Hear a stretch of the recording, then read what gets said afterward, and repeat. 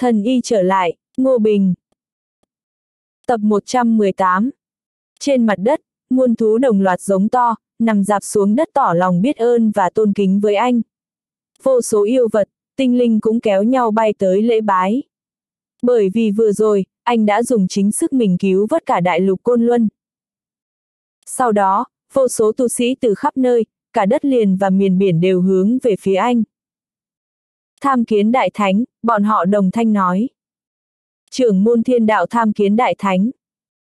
Đông Hải Tổ Long, tham kiến đại thánh. Không cần biết bọn họ có thân phận gì, tu vi ra sao, giờ đây tất cả đều bày tỏ lòng thành kính với Ngô Bình. Anh khẽ gật đầu rồi biến mất tâm, bây giờ vẫn chưa thích hợp để anh công khai thân phận.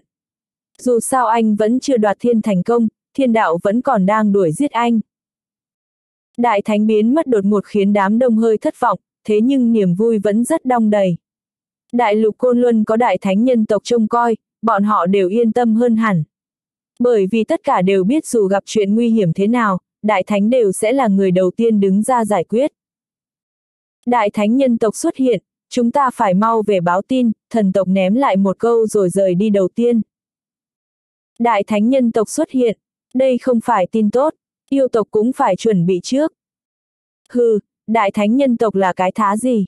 Thần tiên chúng ta mới là chính tông. Đám cao thủ này cũng nhanh chóng tản đi, còn Ngô Bình thì quay về Hoàng Cung. Vừa về đến nơi, anh đã nằm thẳng xuống đất, không muốn nhúc nhích. Khi đánh nhau với thiên ma, anh đã dùng hết toàn bộ khả năng. Dù là anh hay thanh minh đều đã cạn kiệt sức lực. Nếu cuối cùng anh không dùng thủ đoạn của đại thánh lấp lại lỗ hổng thì hậu quả khó mà lường được. Đường tử Di Ân cần hỏi, Huyền Bình, anh không sao chứ?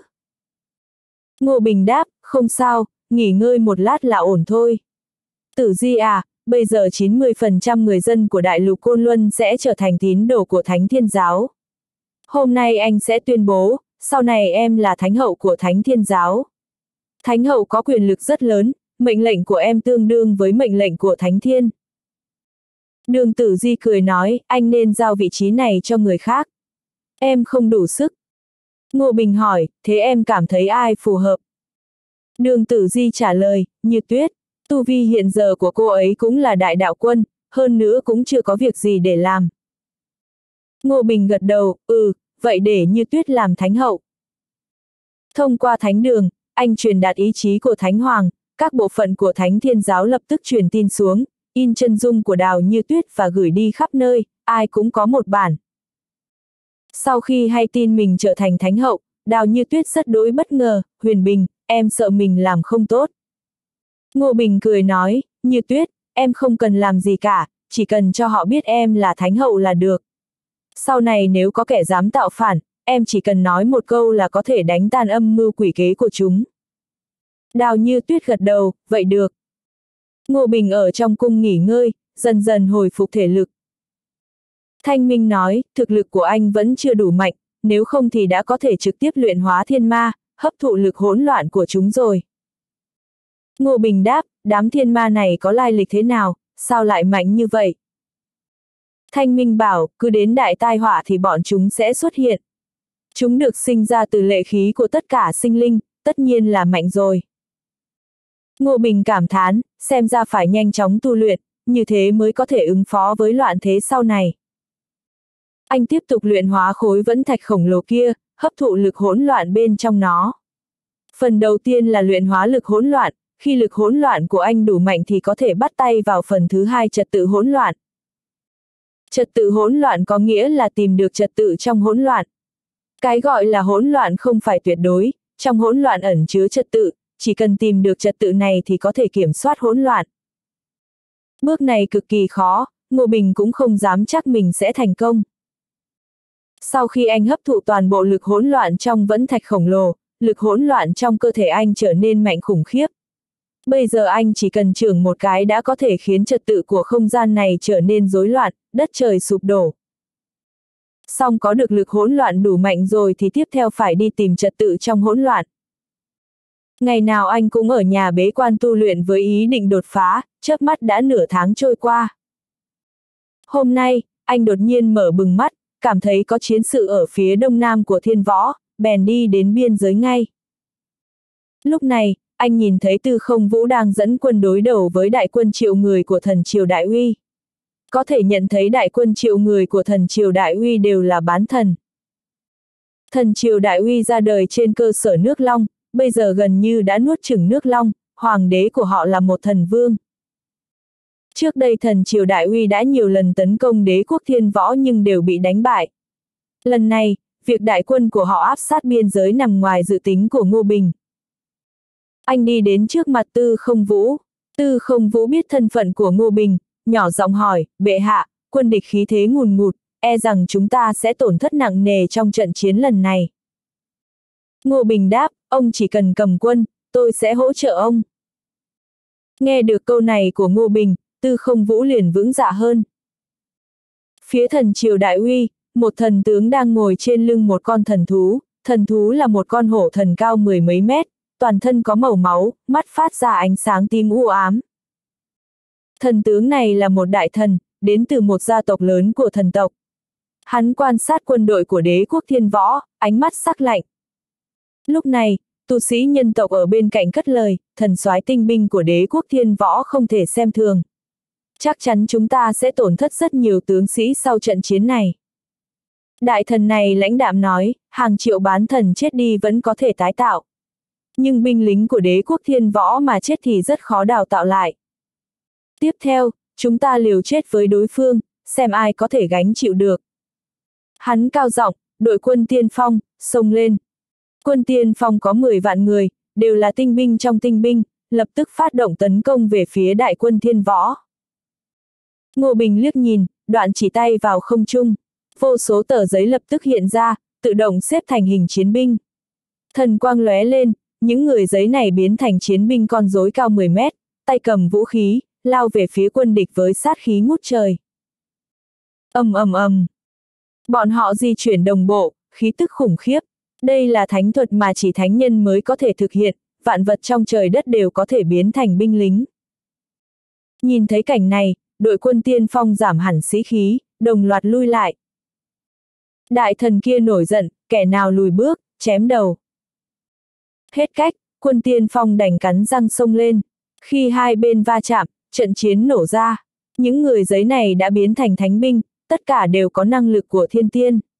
Đao kiếm lóe sáng, một lượng lớn bán thần bị chém chết, còn chẳng đủ sức chống trả. Chết tiệt, thần tướng nọ giận dữ giống to. Hắn bay lên cao, khóa chặt mục tiêu Ngô Bình, sau đó lao về phía anh với ý định giết chết đối phương. Ngô Bình chỉ tay vào không trung, một luồng hắc quang liền xâm nhập cơ thể của đại thần kia, lực hỗn loạn bùng phát. Ngay lập tức, hắn từ trên trời rơi xuống, vẻ mặt đau đớn, khí tức va đập lung tung, ý thức rối loạn. Lúc này, một mãnh tướng của đế quốc thiên võ xông đến chém đứt đầu đại thần. Chủ soái bị chém, binh mã của thần triều đại uy lập tức rơi vào cảnh hỗn loạn. Tư không vũ liền chỉ huy đại quân tiến hành truy đuổi và giết địch. Binh bại như núi lở, chưa đầy một canh giờ, binh lính của thần triều đại uy đã chết, đã bị thương, đã trốn chạy, đã đầu hàng. Nhân cơ hội này, tư không vũ tiến quân về phía đông, đánh xuống 36 quận của thần triều đại uy. Diện tích của 36 quận này tương đương với diện tích của hai, ba tỉnh của đế quốc thiên võ. Thần triều đại uy cả kinh, lập tức tập hợp 2 triệu đại quân, hỏa lực tập trung ở biên giới phía tây mới ngăn chặn được. Đế quốc thiên võ nuốt chừng 36 quận này, người dân địa phương xếp hàng chào đón họ. Thần triều đại uy không hề xem họ là con người, sống rất khổ cực. Thậm chí, thần triều còn không cho phép họ tin thờ thánh thiên. Giờ thì tốt rồi, đế quốc thiên võ đã đến, cuối cùng họ cũng có thể sống những ngày yên vui. Quá trình giành lấy 36 quận gần như không gặp phải sự kháng cự nào. Sau đó, Tư không vũ ra lệnh miễn thuế 10 năm cho 36 quận, đế quốc còn phân phát gạo mì và nhu yếu phẩm hàng ngày cho mỗi gia đình. Sau khi xoa dịu lòng dân, Ngô Bình đích thân chấn thủ thành phố ở cực đông, thành Đông Lâm. Thành Đông Lâm vốn là một trong bốn thành phố lớn nhất nước Long, sau này về tay thần Triều Đại Uy vẫn là thành phố lớn của thần Triều Đại Uy, thương mại phát triển và dân số đông đúc. Thành Đông Lâm và các thành phố nhỏ xung quanh có tổng dân số hơn 100 triệu người, trong đó có rất nhiều bang phái, môn phái. Nếu thần triều đại uy muốn giành lại lãnh thổ đã mất, nơi đầu tiên họ đánh chiếm chắc chắn là thành Đông Lâm. Ngô Bình chấn thủ ở đây để đề phòng thần triều đại uy phản công. Trong một ngôi viện ở thành Đông Lâm, Ngô Bình đang tu luyện, bỗng lòng giật thót, lập tức bay lên trời cao. Anh nhìn thấy ở hướng thần triều đại uy có một luồng thần quang từ trên trời giáng xuống. Trong thần quang có hàng triệu đại quân thần tộc từ trên trời bay xuống, trong đó có một lượng lớn cao thủ thần tộc. Gần như cùng lúc đó, ở hướng của nước Long cũng có một luồng thần quang từ trên trời giáng xuống. từ tiên quang bay xuống hàng triệu tiên binh tiên tướng và rất nhiều cao thủ tiên đạo. Hửm, hai bên muốn quyết chiến sao, anh tự nhủ. Thế là anh liên lạc với Chu Nguyên Thông.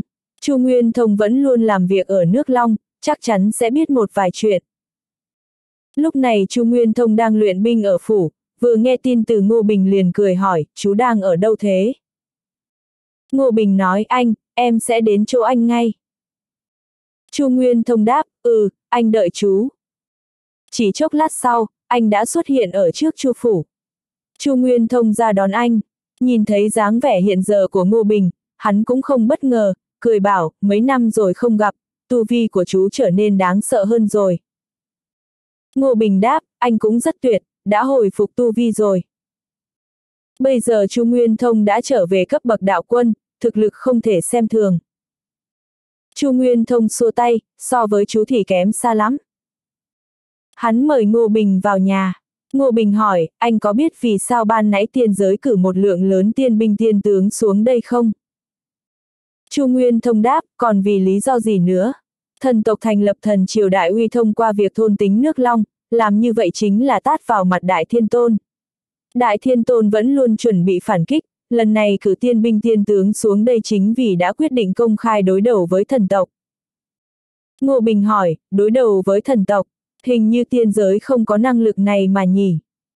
Tuy rằng tiên giới mạnh nhưng cũng chỉ nằm trong khuyên giới thôi, năng lực tổng thể kém xa thần tộc.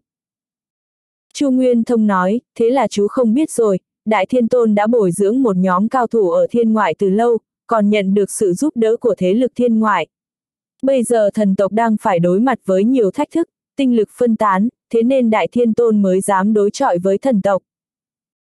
Ngô Bình hỏi, anh à, mục tiêu của Đại Thiên Tôn là gì vậy?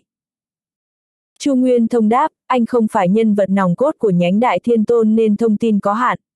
Nhưng anh cảm thấy mục tiêu đầu tiên của Đại Thiên Tôn có lẽ là kiểm soát khuyên giới của chúng ta.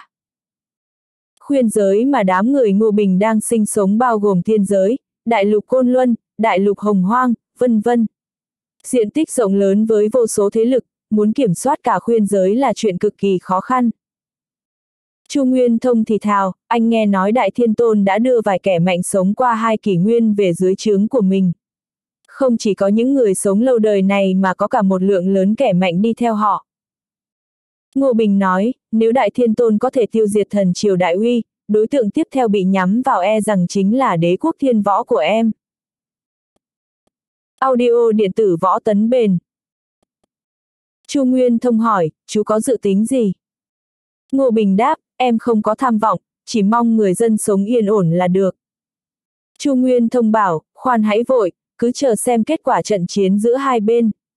Trận chiến này sẽ không phân thắng bại trong thời gian ngắn đâu. Ngô Bình hỏi, anh có tham gia vào cuộc chiến với thần tộc không? Chu Nguyên Thông trả lời, dĩ nhiên là anh không thoát được rồi. Hay là chú ở lại giúp anh đi? Ngô Bình ngẫm nghĩ, được, vậy em sẽ dùng thân phận giả, giúp anh một tay. Chu Nguyên Thông mừng rõ, tốt quá rồi. Chú chịu giúp anh, anh muốn không lập công cũng khó. Hai anh em đang trò chuyện thì bỗng có thuộc hạ đến báo tin, Chu tướng quân, binh bộ tiên đỉnh có lệnh. Chu Nguyên Thông không nghe lệnh nước long, chỉ có trách nhiệm với tiên đình. Nghe binh bộ tiên đình truyền tin đến, hắn lập tức nhận ý chỉ. Binh bộ yêu cầu hắn lập tức dẫn binh đến đóng quân ở biên giới phía nam và chờ điều động. Ngay tức thì, Chu Nguyên Thông chỉnh đốn binh mã rồi thi triển thần thông, dùng kim quang đưa 200.000 tướng sĩ dưới trướng hắn bay đến biên giới phía nam. Trên đường đi, Ngô Bình nói, anh à, số binh lính này của anh có quá ít tiên binh, e rằng không đủ sức đấu với đại quân thần tộc. Chu Nguyên thông đáp, hết cách, bây giờ anh cũng chỉ có thể ở bên cạnh hỗ trợ, chủ lực vẫn là đại quân tiên đình. Đến biên giới phía Nam, Chu Nguyên Thông được bổ nhiệm làm binh đoàn 7, lộ quân 15, phụ trách ngăn ngừa đại quân thần tộc tấn công phe mình từ phía sau. Cũng có nghĩa là, nếu thần tộc không chơi trò đánh lén, binh lính của Chu Nguyên Thông sẽ không cần phải chiến đấu. Ngô Bình bay lên cao, nhìn thấy đại quân tiên giới xuất hiện ngày càng nhiều. Họ cưỡi phi thuyền khổng lồ, trên phi thuyền toàn là pháo tiên. Trang bị của tiên binh cũng vô cùng tinh xảo, súng tiên trong tay họ đều là pháp khí thượng hạng, hàng nghìn hàng tỷ tiên binh có thể đồng thời tấn công vào một điểm. Trước mặt đại quân này, dù là đạo tổ cũng chẳng đáng là gì, bắn vài phát súng cùng lúc là tiêu diệt được ngay. Trên bầu trời cao, một thời không được mở ra tạm thời, bên trong lờ mờ lộ ra một luồng khí tức khủng khiếp, chắc chắn là cao thủ thật sự của tiên giới đang chấn thủ ở đó. Lúc này, hàng trăm con chân long bay đến từ đằng đông. Chúng lượn vòng trên không trung, sau mỗi một con chân long đều có hàng vạn chiến binh thủy tộc. Năng lực của những chiến binh thủy tộc này không hề kém cạnh tiên binh. Ngô Bình lẩm bẩm, Đông Hải Long Cung cũng đến giúp ư. Anh đang kinh ngạc thì không gian chợt xuất hiện một bốn bóng người từ trong đó đi ra. Bốn người này đều là đạo quân, nhưng khí thức cực kỳ đáng sợ, còn mạnh hơn cả đạo tổ mà Ngô Bình từng gặp. Chu Nguyên Thông cũng bay đến, bảo với anh, chú có biết bốn người này là ai không? Ngô Bình hỏi, là ai vậy anh? Chu Nguyên Thông đáp, bốn tán tiên lớn đương thời. Khi còn là địa tiên, họ đã giết thiên tiên như chơi vậy.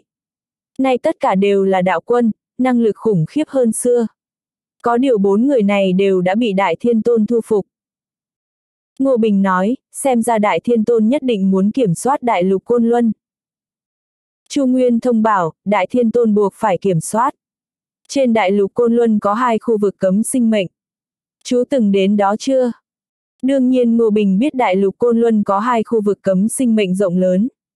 Nhưng ngay cả nước Long và Tiên Quốc năm xưa còn chưa bao giờ dây vào nơi quỷ quái ấy, nên anh không hề có dự định khám phá khu vực đó. Chu Nguyên Thông nói, hai nơi này, một nơi có các thánh đang ngủ say, nơi còn lại là binh tộc hùng mạnh đang ngủ say. Ngô Bình giật mình, có các thánh đang ngủ say ư.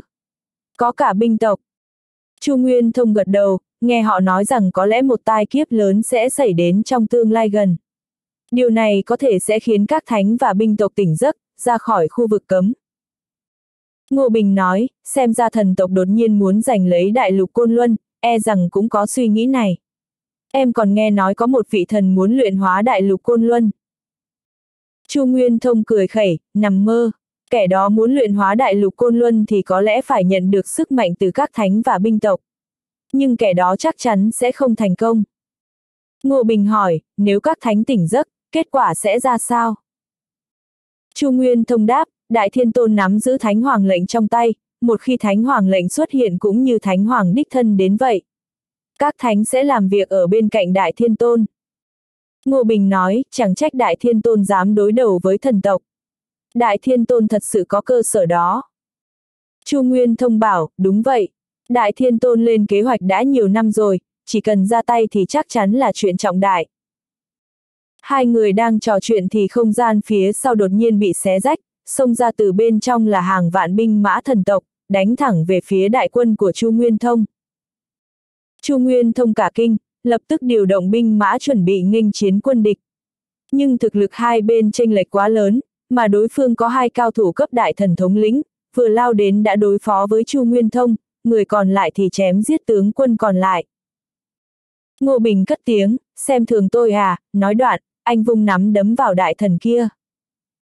Anh vừa vung nắm đấm, đại thần kia liền kinh ngạc, vội vàng dùng cả hai tay để tiếp chiêu. Nắm đấm va chạm nhau, một tiếng động lớn rền vang, đại thần kia bị đấm văng mấy trăm mét, ngã mạnh xuống một quả núi lớn, một lúc sau vẫn không có động tĩnh. Ngô Bình ném ra hàng vạn lá bùa. Những lá bùa này lập tức xếp thành người giấy, biến thành người khổng lồ 10 mét, cầm đại đao dài 40 mét, chém về phía mấy vạn binh thần tộc. Chu Nguyên Thông và đối phương chiến đấu dữ dội đến mức không thể tách rời. Ngô Bình ngâm một hồi dài, đây là thuật chúc phúc mà chỉ đại thánh mới thực hiện được, ánh sáng màu vàng từ trên trời rơi xuống. Sau khi các chiến binh của Chu Nguyên Thông được ánh sáng vàng chạm vào người, sức lực lập tức tăng vọt, không còn sợ đau thương, vừa gầm thét vừa lao thẳng về phía đại quân thần tộc. Chu Nguyên Thông cũng vực dậy thần uy, chém chết gã đại thần kia. Đội quân của thần tộc mất đi thủ lĩnh, lập tức tan đàn xẻ nghé. Chu Nguyên Thông dẫn người đuổi theo chém giết. Trong một thời không thần bí trên bầu trời nước long có một đám người đang dõi theo tình hình trận chiến ở phía xa. Ngay khi hai vị đại thần dẫn theo mấy chục nghìn quân lính thần tộc xông tới, bọn họ đều tưởng Chu Nguyên Thông sẽ bại trận, còn định phái người đến cứu viện. Nhưng tình hình sau đó đều vượt quá khả năng tưởng tượng của bọn họ. Đầu tiên là một tướng quân vô danh xuất hiện tung đấm đánh bay đại thần, rồi thi triển một thủ đoạn thần thông nào đó biến giấy vụn thành quân lính chống lại đại quân của thần tộc. Người đó còn sử dụng một loại bí thuật cực kỳ lợi hại có thể tăng thực lực của bộ binh lính nhân tộc, đao kiếm không thể xuyên qua, dễ dàng chiến thắng đối thủ. Tiểu tướng này là ai? Một ông già dâu tóc bạc phơ cất giọng hỏi, ánh mắt tràn đầy vẻ tán thưởng. Mọi người thi nhau lắc đầu, không ai nhận ra Ngô Bình trong dáng vẻ hiện tại. Bấy giờ, một vị đạo quân lên tiếng, thưa thiên soái, hay là để tôi gọi cậu ấy đến. Ông già dâu tóc bạc phơ kia chính là chủ soái của trận chiến lần này, có khí tức rất khủng bố. Nếu Ngô Bình có mặt ở đây thì chắc chắn sẽ nhận ra ông ấy là đạo tôn tu luyện ở thiên ngoại. Ông ấy đáp, không cần đâu. Truyền lệnh của ta, bổ nhiệm cậu ấy làm tướng quân lãnh đạo binh đoàn 10, lộ quân 15. Phân cho cậu ấy thêm 100.000 tinh binh để ra tiền tuyến đánh trận. Tất cả mọi người đều cảm thấy bất ngờ. Các tướng quân có thể dẫn đầu 100.000 quân lính đều là những người có máu mặt ở tiên giới. Vậy mà chủ soái lại phong một tướng quân nhỏ bé đến cả tên cũng không cần hỏi làm tướng quân thống lĩnh cả một binh đoàn. Thế nhưng không một ai dám hoài nghi mệnh lệnh của chủ soái, lập tức có người chạy đi truyền lệnh. Ngô Bình đang thu gom vũ khí, trang bị của đại quân thần tộc. Những thứ này đều là đồ tốt, có thể để binh sĩ của đế quốc thiên võ sử dụng. Đúng lúc này, một vị đạo quân tay cầm một giải lụa màu vàng bay tới trước mặt anh. Người đó nói, thiên soái có lệnh, bổ nhiệm cậu làm tướng quân của binh đoàn 10. Anh giật mình kinh ngạc, thấy thế, Chu Nguyên Thông vội vàng nói, cảm tạ thiên soái. Người anh em mau nhận lệnh đi. Anh giơ hai tay nhận lấy giải lụa vàng, trong lòng thấy hơi bực bội. Anh thầm nhủ tại sao mình phải đánh trận giúp bọn họ. Vị đạo quân kia gật đầu nói tiếp, 100.000 tinh binh sẽ tới đây ngay. Sau đó ông ta mới hỏi, cậu tên gì? Anh đáp, Ngô Tiểu Bình. Hy vọng ngô tướng quân tiếp tục chiến đấu anh dũng, lập công cho tiên đình. Chỉ cần cậu thắng trận, chắc chắn sẽ được ban thưởng hậu hĩnh. Ông ta nói thêm vài câu khích lệ rồi rời đi. Ngô Bình thở dài nói với Chu Nguyên Thông, anh, thiên soái nhà các anh thực sự coi tất cả là người một nhà nhỉ. Lại còn phong cho em làm tướng quân nữa. Chu Nguyên Thông lại vui mừng bảo, chú có biết thiên soái là người như thế nào không? Ngô Bình hỏi, người như thế nào? Hắn đáp, ông ấy là cao thủ ở thiên ngoại, được người đời gọi là thiên nộ đạo tôn, anh em kết nghĩa của đại thiên tôn đấy. Lần này đại thiên tôn mời ông ấy xuống núi là vì quyết tâm thắng trận này. Ngô Bình nói, thì ra là đạo tôn, anh biết chức tướng quân binh đoàn này của em là cấp mấy không? Chu Nguyên Thông cười bảo, chức của chú không thấp đâu, tương đương với thống lĩnh, võ tướng tam phẩm. Ngô Bình tỏ vẻ ghét bỏ, em là hoàng đế của đế quốc thiên võ mà lại phải chạy tới đây làm quan tam phẩm cho bọn họ à. Chu Nguyên Thông khuyên nhủ, chú em đã đến đây rồi thì cứ sống yên ổn ở đây thôi. Anh đáp, được thôi, triều đình này có uy danh lớn đấy, em cũng muốn mượn danh này chém giết thần tộc thỏa thích một phen. Một lát sau có người dẫn theo 100.000 tinh binh tới, tất cả đều là binh lính chính quy của tiên đình. Người có tu vi yếu nhất cũng là địa tiên long môn. Ai lợi hại hơn tí cũng đã là cảnh giới hư tiên. Còn quan tướng thì đạt tới thần tiên, chân tiên. Ngô Bình nhanh chóng phát hiện ra sự khác biệt giữa họ với tu sĩ bình thường ở khuyên giới. Trong người họ đều có thiên đạo rất rõ ràng, chứng tỏ hoàn cảnh tu luyện của bọn họ có thiên đạo hoàn chỉnh. Anh vô cùng kinh ngạc, thầm nghĩ rốt cuộc vị đại thiên tôn này có thủ đoạn gì mà người khác không biết. Đội quân kia nhìn thấy anh đều tỏ vẻ tôn kính, bởi vì khi đến nơi bọn họ đều được nghe về sự tích một đấm đánh bại đại thần của anh cùng với chiến tích một mình chém giết mấy chục nghìn quân thần tộc. Chính nhờ vào thực lực mạnh mẽ ấy mà quân lính dưới trướng của anh thiệt mạng rất ít. Mọi binh sĩ đều thích một tướng quân như vậy. Ngô Bình nói với bọn họ, chào các anh em, sau này chúng ta sẽ phải cùng kề vai sát cánh sông pha chiến trường. Tôi tên là Ngô Tiểu Bình. Nói xong, anh lệnh cho 100.000 binh lính dựng trại tạm thời tại chỗ, chờ đợi mệnh lệnh từ cấp trên. Bên phía thần triều đại uy, một lượng lớn lính thần tộc hạ xuống từ trong thần quang để bổ sung lực lượng. Tuy hai bên vẫn chưa thực sự bắt đầu khai chiến nhưng vẫn đang không ngừng xảy ra xung đột nhỏ lẻ, thiệt hại nặng nề. Ngô Tiểu Bình quan sát trang bị của các hậu duệ tiên đó, bảo bọn họ thể hiện các thủ đoạn chiến đấu đã được huấn luyện. Tất cả đều đã được rèn luyện nhuần nhuyễn, được đúc kết từ trong chính chiến trường khốc liệt nên đều là tinh túy cả. Thế nhưng anh là cao thủ võ học, thoát cái đã nhìn ra vấn đề của các thủ đoạn này. Chúng thiếu sự phối hợp, cũng thiếu kỹ năng nòng cốt làm cơ sở. Anh lại quan sát trận chiến của các tiên binh, cũng phát hiện ra được rất nhiều sơ hở. Hiện giờ chưa có việc gì cần làm nên anh tự sáng tạo ra một bộ kỹ năng chiến đấu và 12 chiêu thức dùng trong chiến đấu, sau đó truyền lại cho 100.000 binh lính bằng thần niệm. Truyền tin bằng thần niệm tựa như khắc sâu trong đầu. Đám binh lính nhanh chóng học theo, thi nhau tập luyện. Quả thực bộ kỹ năng chiến đấu mới có uy lực mạnh hơn nhiều. Hơn nữa cứ 10 binh lính Ngô Tiểu Bình lại chọn ra một người để truyền thụ kỹ năng nòng cốt, biến người đó thành trung tâm.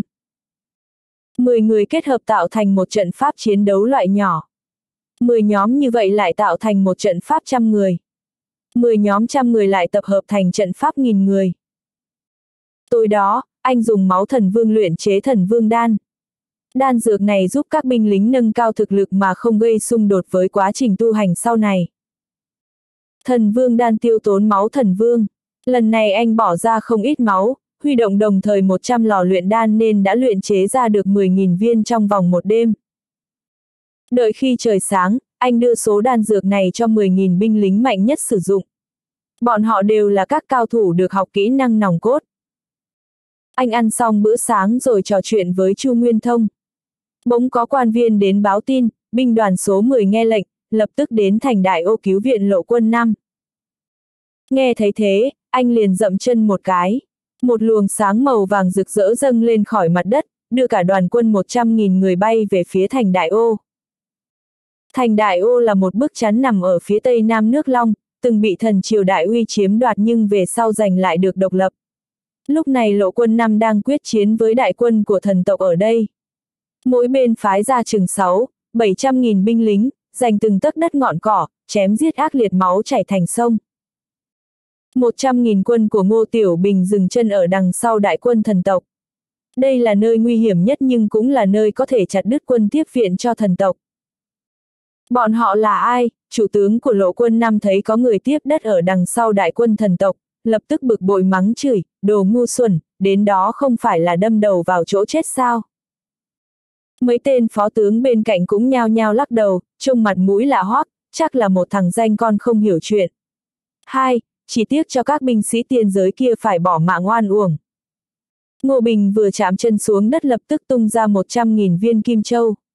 Chúng rơi xuống, biến thành các chiến sĩ mặc áo giáp vàng cao chừng 15 mét, hè hét ẩm ý lao tới tấn công đại quân thần tộc. 100.000 binh lính cầm nỏ tiên trong tay, đứng sau đoàn quân giáp vàng kia bắn giết thần tộc. Điều bất ngờ nhất chính là chủ tướng của binh đoàn lại một mình lao vào giữa quân địch, tay cầm thanh đao dài 10 mét. Anh vừa vung đao lên, đao quang hiện ra, đao khí bắn tung tóc khắp nơi. Toàn bộ thần tộc trong vòng 5 mét đều bị chém giết thịt nát xương tan. Chủ tướng của lộ quân Nam ngơ ngác nhìn theo, không khỏi tấm tắc khen ngợi, thật là anh dũng. Vị tướng này tên là gì?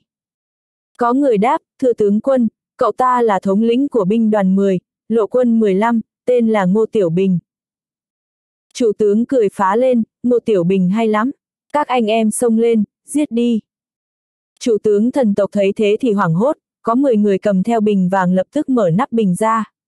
Ngay sau đó, 10 tia sáng đen bay lên, ngưng tụ thành một đám mây đen khổng lồ giữa không trung rồi tạo ra 10 con rối ma thần cao hàng chục nghìn trượng. Thực lực của đám con rối ma thần này tương đương với cao thủ cảnh giới đạo tổ. Đây chính là con át chủ bài của đại quân thần tộc. Ngô Bình thấy con rối ma thần xuất hiện, cũng lắc mình một cái hóa thành người khổng lồ cao hàng chục nghìn trượng, bay vút lên đá vào con rối ma thần.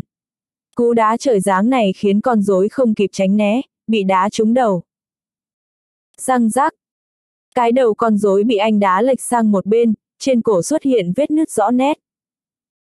Chủ tướng kinh ngạc hít một hơi khí lạnh, thốt lên, sức mạnh quá khủng bố. Sau đó Ngô Bình nhắm tới sau lưng của con rối ma thần, tung trưởng đánh vào sau ót nó. Sức mạnh hỗn loạn đánh vào khiến gương mặt của con rối trở nên méo mó, mắt miệng siêu vẹo rồi ngã lăn ra đất. Bên trong cơ thể của con rối cũng có trận pháp trật tự điều khiển. Một khi bị sức mạnh hỗn loạn phá hỏng, con rối cũng sẽ mất đi tác dụng. ầm ầm, cơ thể to lớn của con rối ma thần đổ dầm xuống đất. Quân lính thiên giới vui sướng hò reo. Thần tộc khiếp hãi, vội vàng phái ra một nhóm cao thủ để ám sát Ngô Bình. Nhưng tất cả đều vô ích, anh thong thả cứ như vào trốn không người, tay nhanh thoăn thoát đánh bại hết 10 con rối ma thần, khiến chúng ngã dạp ra đất.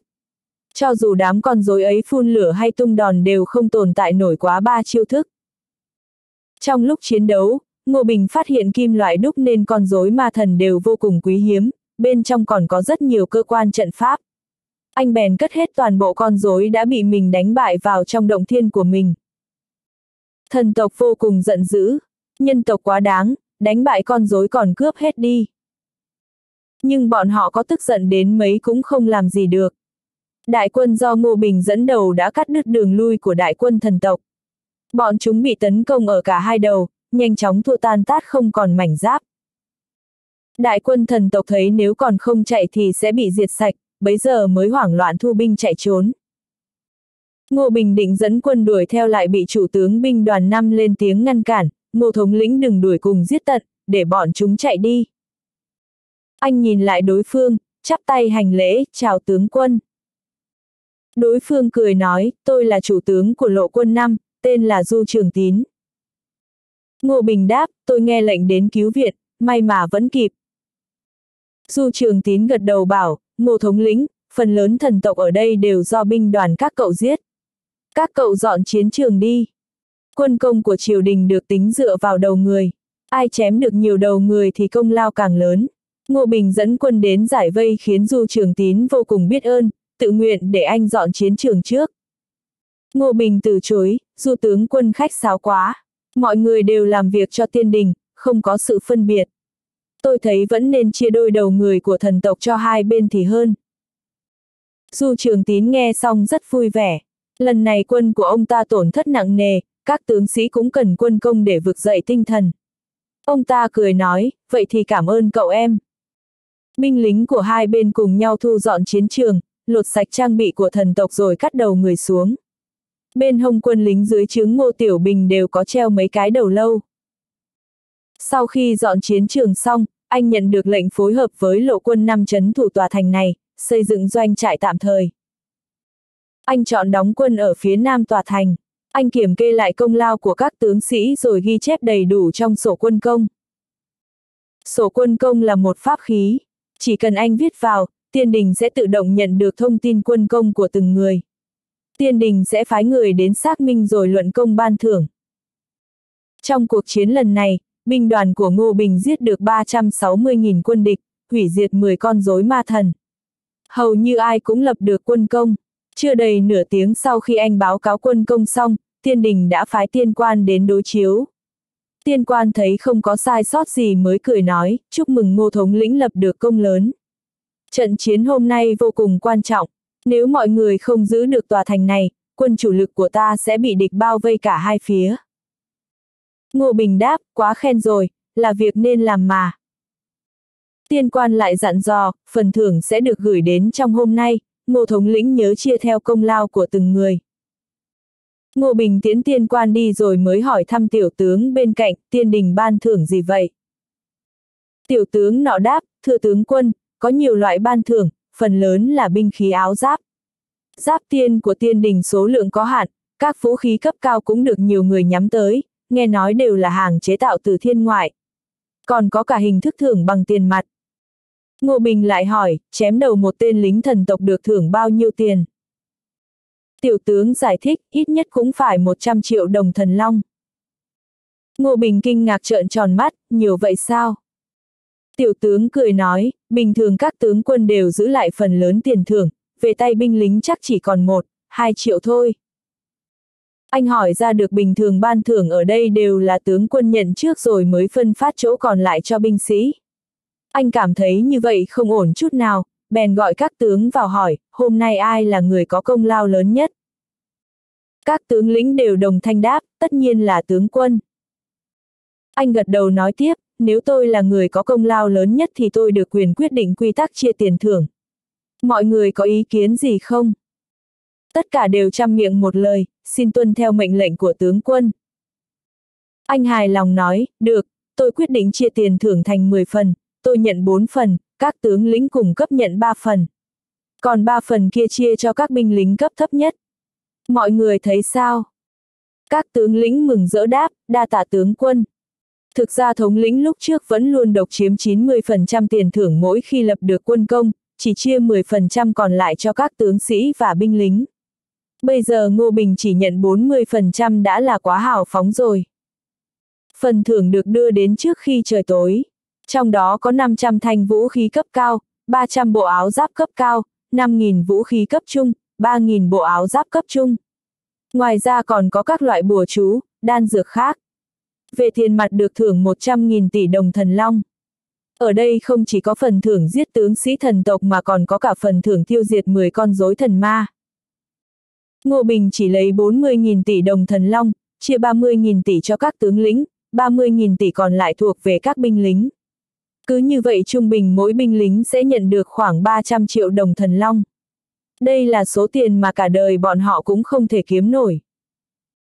Giáp tiên và vũ khí tiên cấp cao được chia cho tướng lĩnh, giáp tiên và vũ khí tiên cấp trung được chia cho các binh lính nòng cốt. Những người còn lại cũng được chia bùa chú và đan dược. Các tướng sĩ đều vui mừng khôn xiết, Ngô Bình sai người chuẩn bị tiệc rượu mừng công với mọi người. Đây là rượu tiên, tác dụng rất mạnh, thế nhưng anh có uống bao nhiêu cũng không bị say. Sau khi uống xong một phen, Du Trường Tín dẫn theo một đám thuộc hạ tới mừng rượu với binh đoàn của Ngô Bình. Mỗi bên có khoảng 7-8 người, ai cũng cầm một vò rượu liều mạng uống cạn. Vò rượu giống dần chất cao như núi.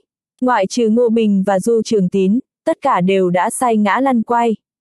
Ngô Bình cười bảo, Du tướng quân đừng cố quá, lỡ uống say nôn ra thì mất hình tượng lắm. Du Trường Tín cười lạnh đáp trả, Ngô Thống lĩnh à, chút rượu này không đủ để tôi nhét kẽ răng đâu. Uống tiếp nào. Rượu tiên này không thể coi thường. Một giọt rượu nhỏ xuống đất có thể hóa thành một vạc rượu nồng. Người bình thường uống vào là gục ngã. Các tiên binh tiên tướng cũng chỉ uống được vài lít là say bét nhè. Thế nhưng Ngô Bình và Du Trường Tín thi nhau uống hơn năm chục vò mà mặt vẫn thản nhiên như không. Khi uống đến vò rượu thứ 100, Ngô Bình lại cảm thấy hơi chánh choáng. Du Trường Tín thì mặt đỏ bừng, chân loạn choạng, ông ta đành phải xua tay chào thua, không uống nổi nữa. Cậu em uống giỏi quá. Tướng sĩ sau lưng Ngô Bình nhao nhao gieo họ ăn mừng vì thống lĩnh của mình uống thắng cả chủ tướng của người ta. Sau khi nhóm binh lính tản đi, hai người ngồi vào bàn vừa ăn lạc chồng trên tiên giới vừa trò chuyện về cuộc chiến giữa thần tộc và tiên giới. Anh Du, lần này tiên giới quyết sống mái một phen với thần tộc sao, Ngô Bình dò hỏi. Du Trường Tín gật đầu, thực ra sau cuộc chiến lần này sẽ xảy ra một chuyện hệ trọng. Trước đó, tiên giới nhất định phải đoạt được vùng đất này, nếu không mọi người đều sẽ chỉ còn đường chết. Vậy nên bây giờ Đại Thiên Tôn phải liều mạng với bọn họ, dù có phải trả giá đắt cỡ nào cũng phải đuổi được thần tộc ra khỏi nơi này. Ngô Bình thầm đoán chuyện hệ trọng kia chính là đại tai họa. Tại sao nhất định phải đoạt được vùng đất này? Du Trường Tín thấp giọng hỏi, cậu em có biết đại lục Côn Luân có hai vùng cấm địa không? Ngô Bình đáp, em biết. Du Trường Tín nói tiếp, cấm địa có tầm quan trọng rất lớn với tiên giới và nhân tộc. Vậy nên không thể để mất nó. Ngô Bình hỏi, anh Du thấy tiên đình nắm chắc bao nhiêu phần thắng? Du Trường Tín đáp, chuyện này làm gì có phần nắm chắc, chỉ có liều mạng thôi xem ai kiên trì lâu hơn thì thắng.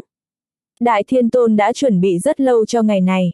Anh nghĩ chúng ta vẫn còn cơ hội. Ngô Bình lại hỏi, chúng ta có cần phải đánh chiếm đế quốc thiên võ ở bên cạnh không? Du Trường Tín xua tay bảo, đế quốc thiên võ là của nhân tộc. Chúng ta đánh làm gì?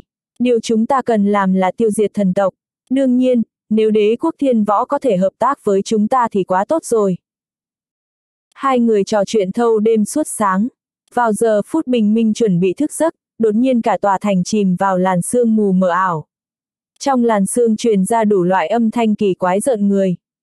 Thỉnh thoảng có bóng dáng sinh vật kỳ dị xuất hiện, nhưng chỉ lóe lên một cái rồi lại biến mất. Ngô Bình và Du Trường Tín lập tức lệnh cho các tướng sĩ nâng cao cảnh giác, bảo vệ quân doanh. Này cậu em, thần tộc đang dở trò với chúng ta đấy. Bọn chúng mở cửa thế giới hung ác để đưa các sinh linh tà ác ở đó đến đây. Thế giới hung ác sao? Là cái gì vậy? Ngô Bình khó hiểu hỏi rồi đi thẳng vào trong màn xương.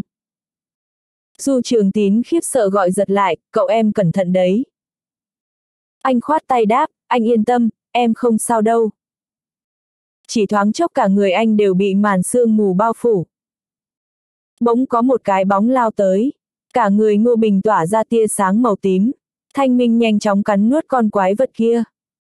Được đấy, những sinh linh này có năng lượng rất mạnh. Tôi ăn nhiều có thể nâng cao tu vi, Thanh Minh hài lòng lên tiếng. Ngô Bình bất ngờ hỏi, người ăn cả loại quái vật như này sao? Thanh Minh nói, về lý thuyết thì càng ăn nhiều sinh linh, thực lực của tôi sẽ càng trở nên mạnh mẽ, cũng sẽ càng dễ thích ứng với thế giới này. Tôi sẽ nghiên cứu thể chất và năng lượng tạo ra bọn chúng để tự tiến hóa chính mình. Lại có hai con quái vật xông tới, tất cả đều bị Thanh Minh ăn sạch. Ngô Bình dứt khoát ngồi xuống để Thanh Minh phóng ra tia sáng kỳ dị dụ dỗ bọn quái vật kia. Chỉ cần chúng đến gần đều sẽ bị tia sáng màu tím cắn nuốt. Càng về sau, quái vật bắt đầu xuất hiện theo bầy đàn.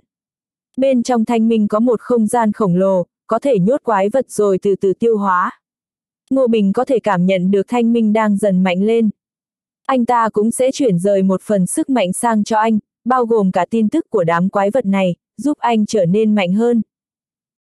Chưa đầy nửa tiếng sau, số lượng quái vật bắt đầu giảm bớt. Sau hơn chục phút nữa, toàn bộ quái vật trốn trong màn sương mù dày đặc đều trở thành món ăn trong bụng thanh minh. Ngô Bình không quan tâm mà ngồi xuống tu luyện, cảnh giới thần thông có 5 hệ, anh đã tu luyện tử kim chấn cửu thiên của thần thông hệ kim, vẫn còn bốn hệ thần thông khác nữa. Thanh minh hấp thụ năng lượng từ đủ mọi loại sinh linh tà ác, phân tích đúc kết ra được nhiều thần thông vô cùng lợi hại. Một trong số đó là thuật hóa đá, thuộc công pháp hệ thổ, có thể biến sinh linh thành tảng đá chỉ trong nháy mắt, mất đi sự sống. Ngô Bình coi thuật hóa đá như một thần thông mà tu luyện, khiến nó trở thành thần thông thứ hai trong cảnh giới thần thông. Anh vừa mới tu luyện xong, trước mặt chợt xuất hiện một vị thần vương khổng lồ có sáu con mắt, miệng cực nhỏ, đầu chọc lóc không có tóc, mũi là một khúc xương trắng nhô ra. Bộ dạng của hắn trông rất quái dị. Các sinh linh tà ác kia đều bị ngươi bắt giữ cả sao, hắn trầm giọng chất vấn. Ngô Bình thản nhiên nói, bị ta giết cả rồi.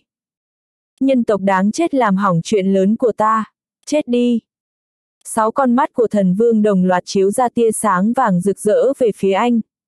Thần hồn của anh lập tức trở nên căng thẳng, cả người cứng ngắc lại.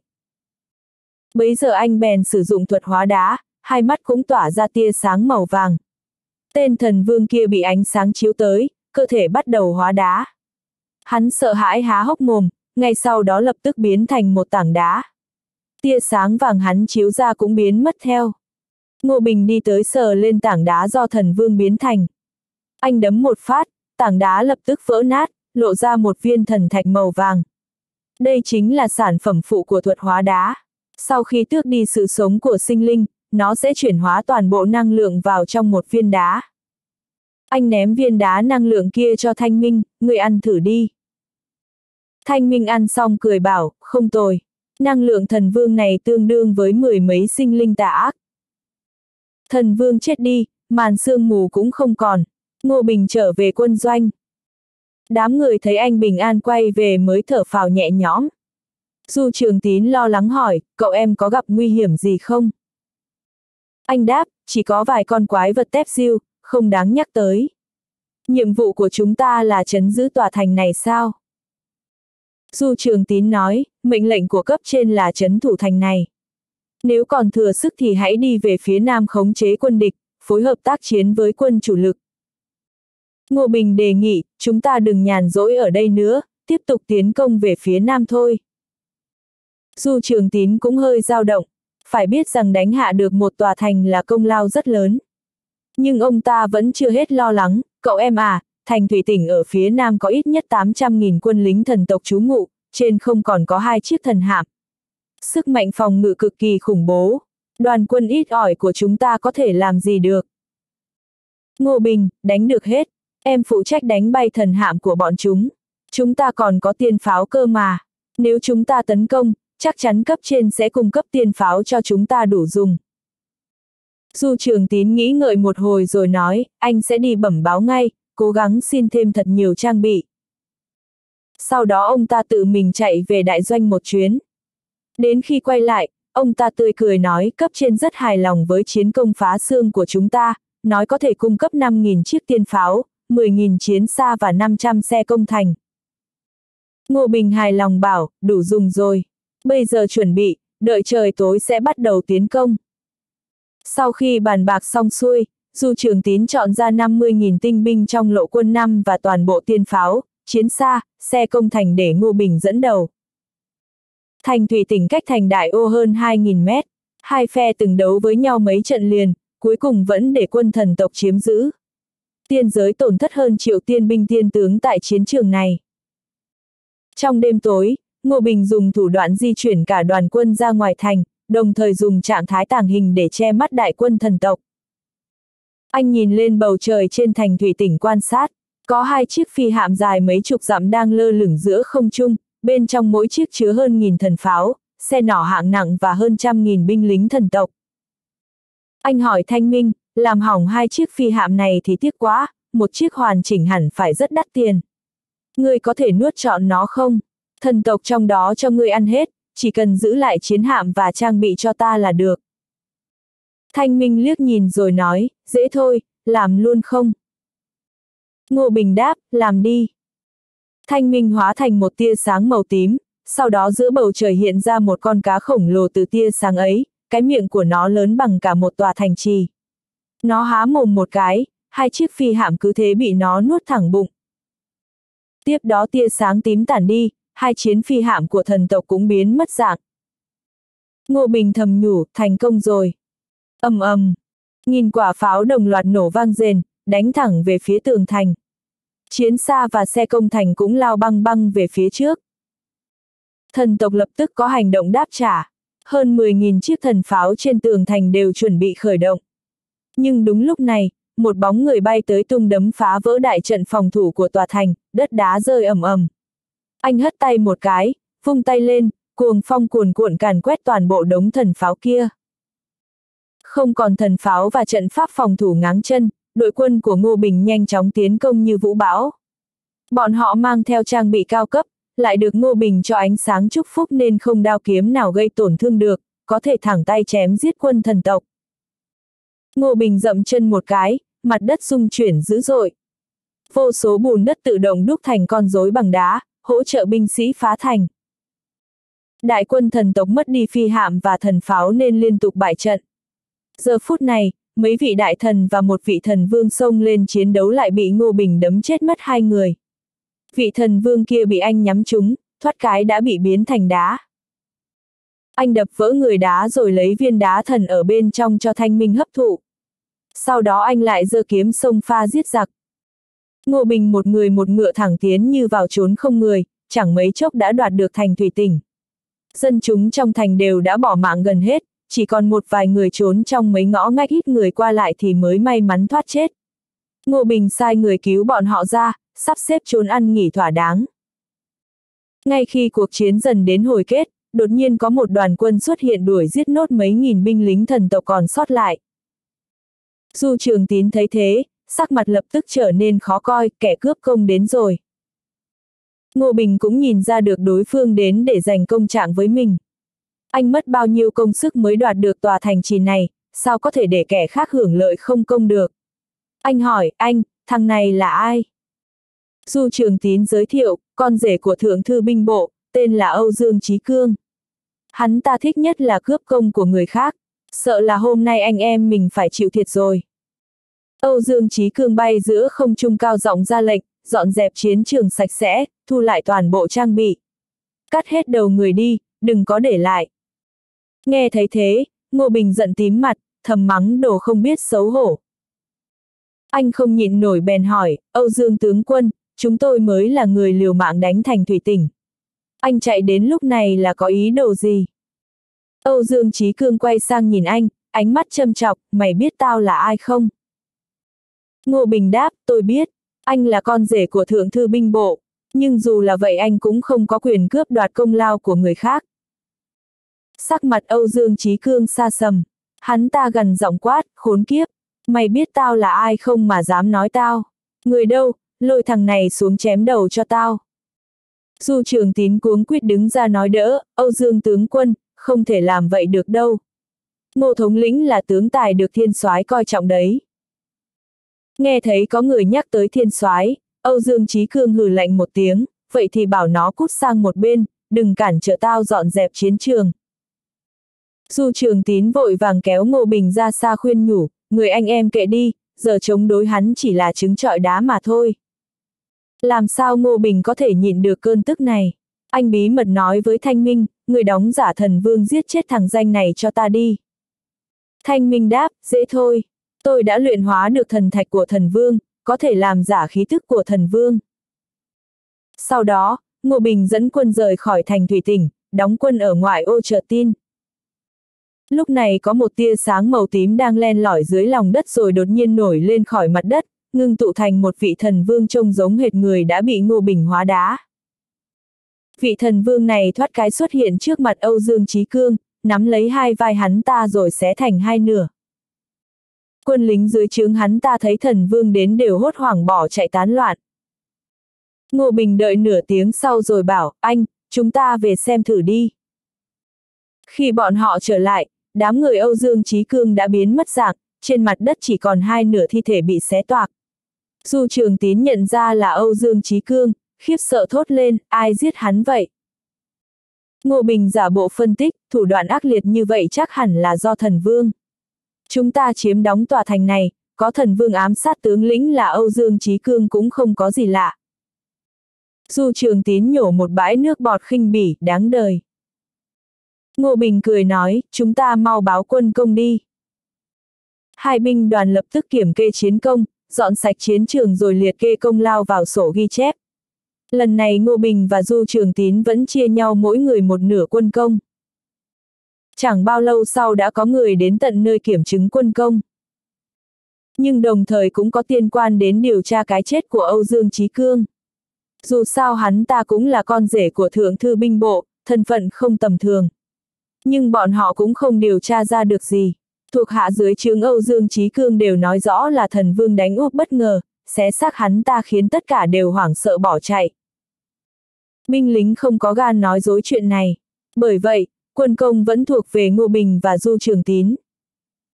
Một lát sau, thiên soái phái người đưa pháp chỉ ban thưởng cho bọn họ đến. Ngô Bình được bổ nhiệm thay thế chức vụ của Âu Dương Trí Cương, đảm nhiệm chức trách chủ tướng của lộ quân 6. Cấp trên còn ra lệnh trong vòng 2 ngày bọn họ phải quay về doanh trại của đại quân để nhận lệnh. Thông thường một quân đoàn lộ quân có khoảng từ 500.000 đến 1 triệu lính. Tất nhiên cũng có quân đoàn nhiều người hơn, có thể lên tới con số 200.000 người. Chủ tướng của quân đoàn lớn như vậy được gọi là đốc tướng quân, thuộc hàng nhị phẩm. Phần thưởng nhanh chóng được đưa tới, nhiều gấp 10 lần lần trước. Ngô Bình vẫn tiếp tục chia thưởng theo công trạng, khiến quân lính đều vui mừng, đồng ý đi theo anh đến đại quân lộ quân 6. Tối đó, Du Trường Tín mở tiệc chia tay cho Ngô Bình. Bởi vì sáng hôm sau, anh sẽ phải dẫn theo binh lính của mình đến lộ quân 6 nhậm chức đốc tướng quân. Ngày tiếp theo, Ngô Bình dẫn quân tới nơi đóng quân ở Tứ Thủy Châu. Đây là vùng đất thường xuyên xảy ra giao tranh. Nó từng bị thần triều cướp đoạt một thời gian dài, nhưng mấy ngày trước vừa mới bị đánh hạ. Bây giờ đại quân thần tộc đang dồn hết sức để giành lại châu Tứ Thủy, cho nên tình hình chiến sự ở đây vô cùng căng thẳng. Trước đây Âu Dương Trí Cương cũng từng cướp công của người khác. Đốc tướng quân tiền nhiệm vừa mới giành lại được vùng đất này đã bị hắn ta cướp mất công lao, chiếm hết lợi ích. Bây giờ hắn ta chết đi, Ngô Bình lại trở thành đốc tướng quân ở đây. Một đoàn người đi vào nơi đóng quân, chỉ thấy binh sĩ bị thương nằm la liệt, không hề có kỷ luật quân đội. Ngô Bình vừa đến, việc đầu tiên anh làm chính là tuyên bố pháp chỉ của thiên soái. Anh trầm giọng nói, từ giờ trở đi, tôi chính là đốc tướng quân ở đây. Toàn bộ tướng lĩnh và binh sĩ lập tức tập hợp ở lều lớn. Chẳng mấy chốc, chín vị thống lĩnh và tướng tính đã đến lều chính. Ngô Bình quan sát bọn họ, phát hiện sĩ khí của bọn họ rất thấp, không có tinh thần, giống như vừa đánh thua trận vậy. Anh thản nhiên nói, từ ngày mai, mọi người phải luyện binh theo cách của tôi, đây là sổ tay luyện binh, mọi người cầm về học tập cho tốt, học không đến nơi thì xử phạt theo quân pháp. Mọi người nhìn nhau, còn phải học nữa sao? Nhưng quân lệnh như núi, bọn họ không dám nói thêm lời nào, chia nhau ra nhận sổ luyện binh rồi rời đi. Sau khi đám người này đi, Ngô Bình gọi tướng lĩnh của binh đoàn trước đó tới, anh nói, đám người này vật vờ vật vướng, không đánh trận nổi đâu, nên chúng ta phải kích thích bọn họ mới được. Phó tướng hỏi, tướng quân, kích thích thế nào ạ? À? Ngô Bình, đánh vài trận thắng, mỗi người nhận được tiền thưởng và trang bị, tất nhiên bọn họ sẽ thấy đỏ mặt tía tai thôi. Nghe vậy, phó tướng mỉm cười, đúng vậy, chỉ cần đánh một trận, đảm bảo bọn họ sẽ khôi phục lại ý chí chiến đấu ngay ấy mà. Ngô Bình bước tới trước sa bàn, sa bàn quân dụng là một loại pháp khí, bên trên toàn là hình ảnh thật, đồng thời có thể phóng to thu nhỏ. Thần niệm vừa tiếp xúc thì trong đầu đã hiện lên bản đồ địa hình của toàn bộ đại lục Côn Luân. Nhìn xa bàn một lúc, Ngô Bình phát hiện châu Tứ Thủy có bốn con sông lớn cùng đổ ra biển lớn phía đông. Ở giữa bốn con sông này đều có một thành thị, quy mô rất lớn. Phía đông nam của châu Tứ Thủy, qua sông Nộ Thủy là dãy núi dài nghìn dặm, tên là Long Khâu. Đối diện với Long Khâu chính là thành đại giã mà đại quân thần tộc đang chiếm đóng.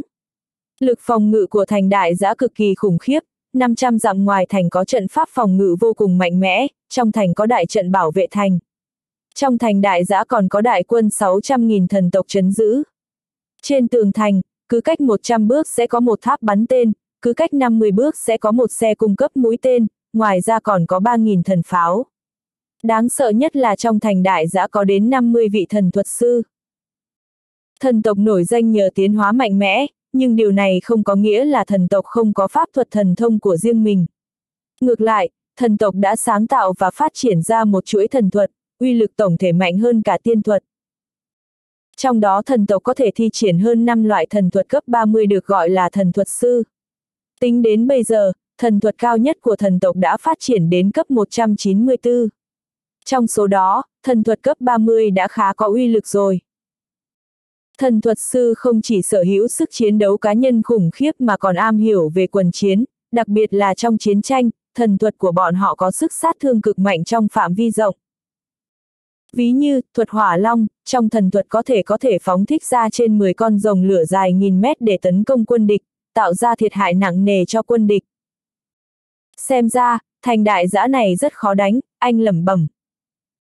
Một tiểu tướng bưng trà rót nước trong quân doanh nói, thưa tướng quân, đại quân tiên giới đã tấn công thành đại giã không dưới 10 lần, tổng đã thiệt hại đến hàng triệu tiên binh, nhưng vẫn không thể chiếm được nó. Nhưng trong thành đại giã cũng thương vong rất nhiều, xác chất thành núi. Ngô Bình nhìn tiểu tướng đó rồi hỏi, lúc tấn công quân số là bao nhiêu? Tiểu tướng, ít thì cũng phải 500.000 quân, lần nhiều nhất đã điều động đến 1 triệu 50.000 tiên binh tiên tướng. Ngô Bình, đã biết khó đánh như vậy thì tại sao không phái cao thủ tuyệt đỉnh ra giết thẳng vào trong? Tiểu tướng gãi đầu, hình như đã có một vị đạo tổ ra tay rồi, nhưng đạo tổ vừa vào đó đã bị sát trận tuyệt thế giam giữ, khó khăn lắm mới thoát được nhưng cũng đã mất nửa cái mạng, tu vi giảm mạnh. Ngô Bình, đến đạo tổ mà cũng suýt chút không về được, phòng ngự thật kinh người. Anh đi vòng quanh xa bàn vài vòng rồi nói, thành đại giã là một khúc xương khó nhằn, đánh chiếm được nó sẽ là đại công. Tiểu tướng cười nói, tướng quân, thiên soái đã từng nói, ai hạ được thành đại giã sẽ phong người ấy thành đại tướng quân. Đại tướng quân thường sẽ thống lĩnh từ 10 lộ quân trở lên, thuộc hàng nhất phẩm, là quan lớn thực thụ. cả tiên giới cũng chỉ có 12 vị đại tướng quân, đều là cường giả đã lập công lao phi thường. Ngô Bình khá bất ngờ, tiên giới xem trọng thành đại giã này đến vậy sao? Tiểu tướng đáp, nghe nói là thành đại giã sẽ ảnh hưởng đến toàn cuộc, liên quan đến thiên cơ vận khí gì đấy, tôi cũng không hiểu lắm. Ngô Bình suy nghĩ rồi nói, nhất định phải chiếm được thành đại giã. Sau đó anh tiếp tục luyện chế thần vương đan. Luyện được 20.000 viên thần vương đan, anh cho một phần tinh binh uống. Sau đó, anh lại chia số áo giáp được thưởng từ hai lần trước cho một vài người có sức chiến đấu mạnh mẽ nhất, bảo bọn họ tăng cường huấn luyện, luyện tập chiến trận và kỹ năng chiến đấu mà anh đã dạy. Mặt khác, anh lấy 10 con rối ma thần ra, sửa chữa chỗ hỏng của chúng nó. Thật ra 10 con rối ma thần này không hư hại gì nghiêm trọng, chẳng qua là bị lực hỗn loạn làm xáo trộn trận pháp, sửa chút là dùng được ngay. Anh dùng bản lĩnh đại thánh, dễ dàng tế luyện được con rối ma thần. Điều thú vị là sau khi anh tế luyện con rối xong thì trong thức hải của anh lại xuất hiện 10 con rối nhỏ. Anh khẽ động tâm niệm, con rối sẽ hành động theo suy nghĩ của anh. Thậm chí, anh phát hiện đám con rối này có ý thức, chỉ là chúng khá đơn thuần, có thể nhanh chóng giao tiếp được với anh. Thanh minh, khuyết điểm của đám con rối này quá nhiều, uy lực cũng bình thường. Ngô Bình nói, Thanh Minh, người có thể khiến bọn chúng mạnh hơn không? Thanh Minh, tôi có thể biến chúng nó thành hóa thân của tôi, rót năng lượng của tôi vào chúng, thăng cấp trận pháp, như vậy sẽ dễ dàng nâng cao thực lực của chúng. Ngô Bình cười nói, được đấy. Từ bây giờ, số con rối này là của ngươi. Thế là Thanh Minh rót năng lượng vào con rối, cải tạo nâng cấp phần cốt lõi của những con rối này. Sau 10 ngày, Ngô Bình gọi hết tất cả tướng lĩnh tới trước mặt, hỏi các anh đã học sổ tay luyện binh tôi đưa chưa? Các tướng lĩnh đều đã xem qua, nhưng đa số đều chỉ xem vậy thôi, không ai nghiêm túc học tập, nhưng lúc Ngô Bình hỏi, bọn họ đều tỏ ra là đã học rồi. Ngô Bình gật đầu, anh tùy ý chỉ một thống lĩnh, hoàng thống lĩnh, anh đã học được mấy chiêu thức trong những kỹ thuật chiến đấu trong sổ tay rồi. Hoàng thống lĩnh dẫn dắt 150.000 binh, là một trong chín thống lĩnh, anh ta nói, thưa tướng quân, mà tướng học được hai chiêu thức. Ngô Bình, 36 kỹ thuật chiến đấu mà anh chỉ học được hai chiêu. Thế chiến trận thì sao, bây giờ anh biết được mấy cái. Hoàng thống lĩnh không ngờ Ngô Bình lại hỏi kỹ đến vậy, chán anh ta toát mồ hôi hột, đáp mà tướng có xem qua vài chiến trận nhưng vẫn chưa nghiên cứu tỉ mỉ. Ngô Bình nhìn chằm chằm anh ta, 10 ngày đấy, anh ngủ cả 10 ngày nay à? Hoàng thống lĩnh cúi gằm đầu, mà tướng biết sai rồi. Ngô Bình gật đầu, biết sai là tốt. Người đâu, kéo xuống, phạt 100 gậy, sau đó cách chức thống lĩnh của anh ta. Hoàng thống lĩnh hoảng hốt, vội nói, tướng quân, bây giờ mà tướng sẽ lập tức trở về nghiêm túc học tập, chắc chắn sẽ học hết sổ tay luyện binh. Ngô Bình, tôi đã ra quân lệnh rồi, học không hết thì phải chịu phạt. Không cần nói thêm nữa, người đâu, kéo xuống. Hoàng thống lĩnh bị kéo đi, Ngô Bình chọn một người từ binh đoàn trước đây của mình bù vào, đảm nhận chức thống lĩnh. Những người khác kinh hãi, ai nấy đều nơm nớp lo sợ Ngô Bình sẽ kiểm tra bọn họ. Ngô Bình thản nhiên nói, ba ngày sau tôi sẽ lại hỏi các anh. Đến lúc đó, nếu ai chưa học được hết sổ tay luyện binh sẽ chém đầu hết. Thế là sau khi đám người giải tán, bọn họ đều nhốt mình trong lều riêng, ra sức học nội dung trong sổ tay luyện binh. Sau khi giết gà dọa khỉ, Ngô Bình dùng thân phận đốc tướng quân viết quân thư xin chiến, tấn công thành đại giã. Lúc này, ở đại doanh, thiên soái nhận được quân thư yêu cầu của Ngô Bình thì mỉm cười, đưa cho mọi người cùng xem, Ngô Tiểu Bình này lại định tấn công thành đại giã, mọi người thấy thế nào? Các tướng ai nấy đều lắc đầu, một tướng mới lên làm đốc tướng quân, bắt đầu bành trướng thế lực, lại chọn tấn công thành đại giã. Thành đại giã này là nơi đã khiến chúng ta tổn thất mất hàng triệu tinh binh đấy, thần tộc đã đầu tư rất nhiều vào nơi này. Muốn lấy được nó, đúng là viển vông. Đúng vậy, thiên soái nhiều lần cho binh tấn công thành đại giã, tới nay đã có bốn đốc tướng quân hy sinh mà vẫn chưa thành công, một tiểu tướng mới lên như cậu ta, sao dám ngông cuồng đòi tấn công. Mọi người lần lượt lên tiếng chỉ trích Ngô Bình, thiên soái lại cười, ông ấy nói, người trẻ mà, có gan làm là tốt rồi. bổn soái cảm thấy cứ cho cậu ấy một cơ hội đi. Sau đó, ông ấy hỏi một người đàn ông trung niên dâu đen đội mũ trắng đứng bên cạnh, quân sư, ông cảm thấy tôi nên cho cậu ấy những gì? Quân sư cười nói, mắt nhìn người của thiên soái là chuẩn nhất, ngài đã tin cậu ấy như vậy cho thấy cậu ấy có cơ hội thắng. Thuộc hạ nghĩ rằng nên cho thêm cậu ấy 500.000 tinh binh, 20 chiếc thuyền tiên, 10.000 con rối thiên tiên, 20.000 pháo tiên, và 30 vị tiên thuật sư. Nghe quân sư nói vậy, mọi người đồng loạt lắc đầu, cảm thấy cho một người mới nhiều tài nguyên như vậy quả thật rất mạo hiểm. Nhưng thiên soái đã có lời, bọn họ không dám nói thêm gì. Thiên soái gật đầu, ừm, cho những thứ này cũng được. Thêm một thứ nữa, giao cho cậu ấy cấp hỏa vệ của tôi. Thêm 3.000 cấp hỏa vệ thì có lẽ cậu ấy sẽ có vài phần thắng. Quân sư cười đáp, thiên soái là người yêu quý nhân tài, ngô tướng quân này thật tốt số. Rất nhanh Ngô Bình đã nhận được câu trả lời, nhìn thấy câu trả lời, anh giật cả mình. Anh không ngờ thiên soái đồng ý nhanh như vậy, lại còn cho thêm rất nhiều binh mã trang bị. Anh suy nghĩ rồi nói, truyền lệnh, bảo các tướng sĩ chuẩn bị cho tốt, đêm nay xuất chinh. Chẳng bao lâu sau, binh mã trang bị mà thiên soái cung cấp đã đến đủ, chỉ đợi thời cơ đến là lập tức xuất chinh. Lúc này, Ngô Bình lấy một tảng sắt chế tạo ra 90 con rối giống hệt con rối ma thần, bọn chúng cũng có sức chiến đấu nhất định, nhưng uy lực thì đương nhiên kém xa con rối ma thần. Ngoài ra, anh còn triển khai thánh thuật, tạo ra 10.000 con quái vật bốn chân tám tay để làm quân tiên phong sông vào thành địch, bọn chúng rất mạnh, mình đồng gân sát. Đương nhiên, còn có lượng lớn chiến xa, xe tấn công, thuyền tiên, pháo tiên nữa. Thậm chí Ngô Bình còn lấy hai chiếc phi thuyền của thần tộc mà lúc trước mình chiếm được ra, anh muốn dốc toàn lực để tấn công. Đối với Ngô Bình thì dãy núi không phải là trở ngại gì.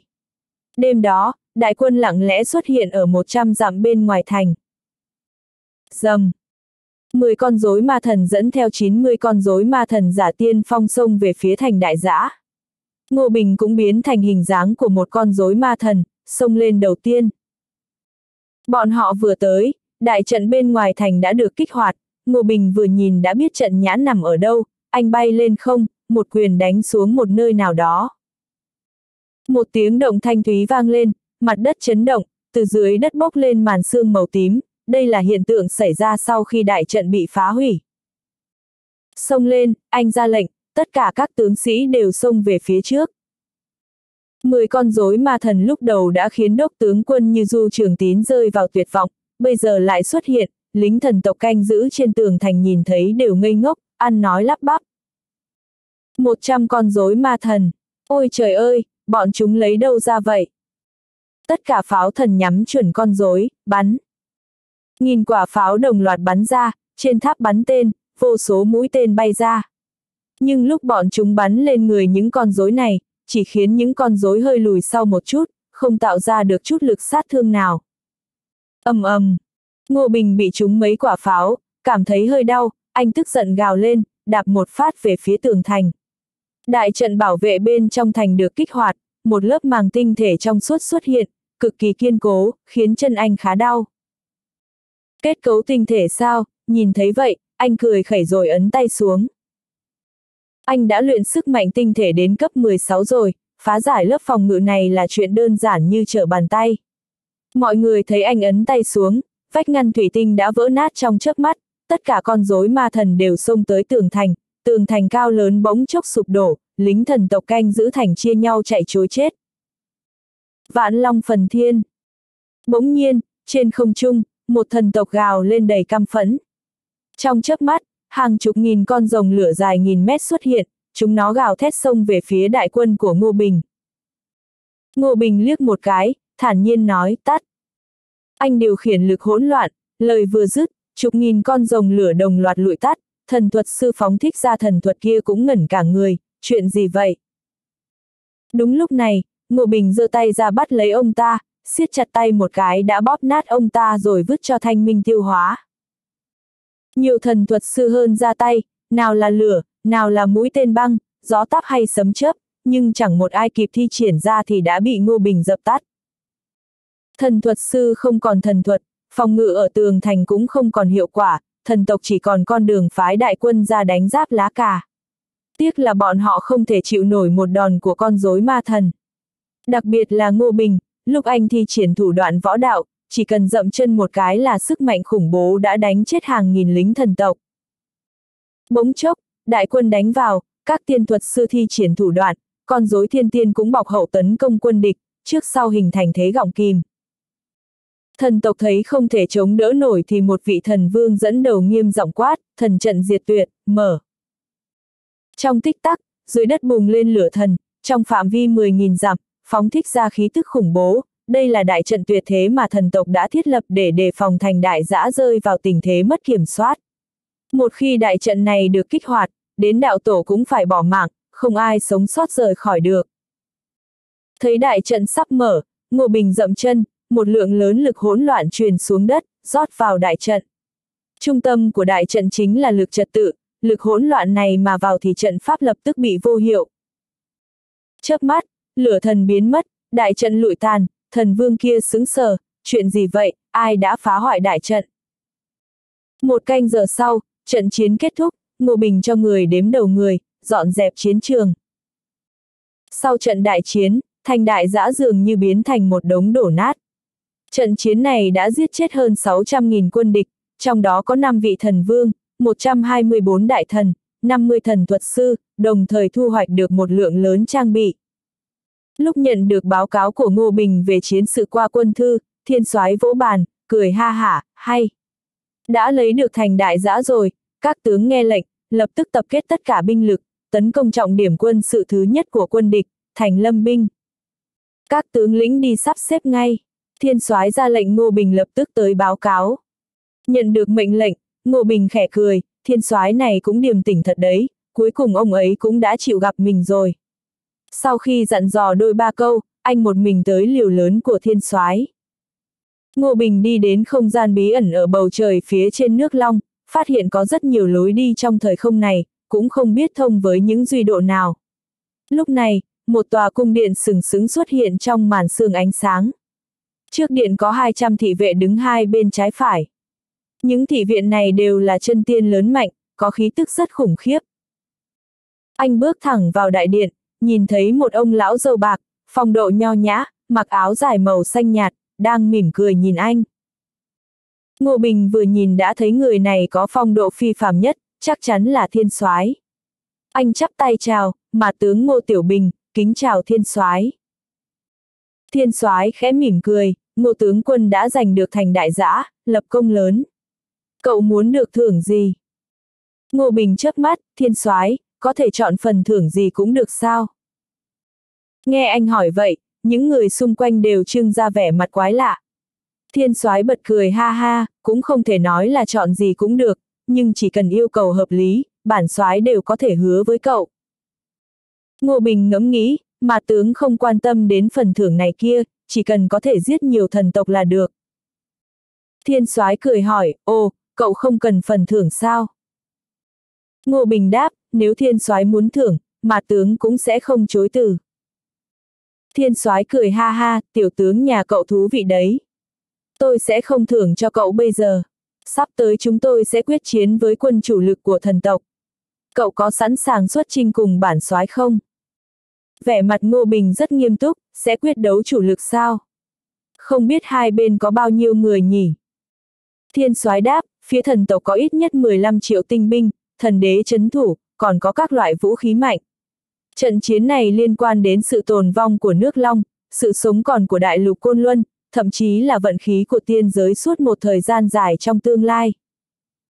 Ngô Bình nói, trận chiến quan trọng như vậy, tiên đình chắc chắn sẽ dốc toàn lực. Thiên soái, một tiểu tướng như tôi e rằng không có tư cách tham gia trận đại chiến này. Thiên soái lãnh đạm nói, thực lực và bản lĩnh của cậu đều xếp hàng đầu. Thành đại giã có rất nhiều mãnh tướng đã bại trận, nhưng cậu lại thắng rất dễ dàng, điều này chứng minh cậu rất có năng lực. Ngô tướng quân, bản soái hy vọng cậu tham gia trận chiến chủ lực lần này. Nếu thắng trận, bản soái nhất định sẽ cho cậu phần thưởng khiến cậu hài lòng. Ngô Bình mỉm cười, cảm ơn thiên soái đã xem trọng tôi. Mạc tướng chắc chắn sẽ dốc hết sức mình. Thiên soái nói, tốt, bản soái lệnh cho cậu nắm quyền tả quân, phụ trách tấn công quân địch từ cánh trái.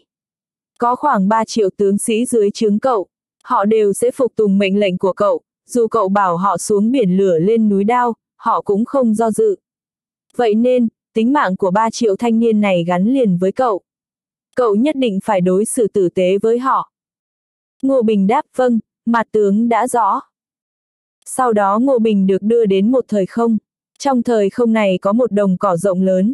Lúc này, 3 triệu tiên binh tiên tướng đang đóng quân ở đồng cỏ, họ đều là binh lính của Ngô Bình. Kính chào đại tướng quân, các tướng đã nhận lệnh từ sớm, vừa thấy thống soái mới xuất hiện liền đồng loạt cúi chào. Ngô Bình gật đầu, các vị, đại chiến đã cận kề, chúng ta hãy làm quen với nhau trước.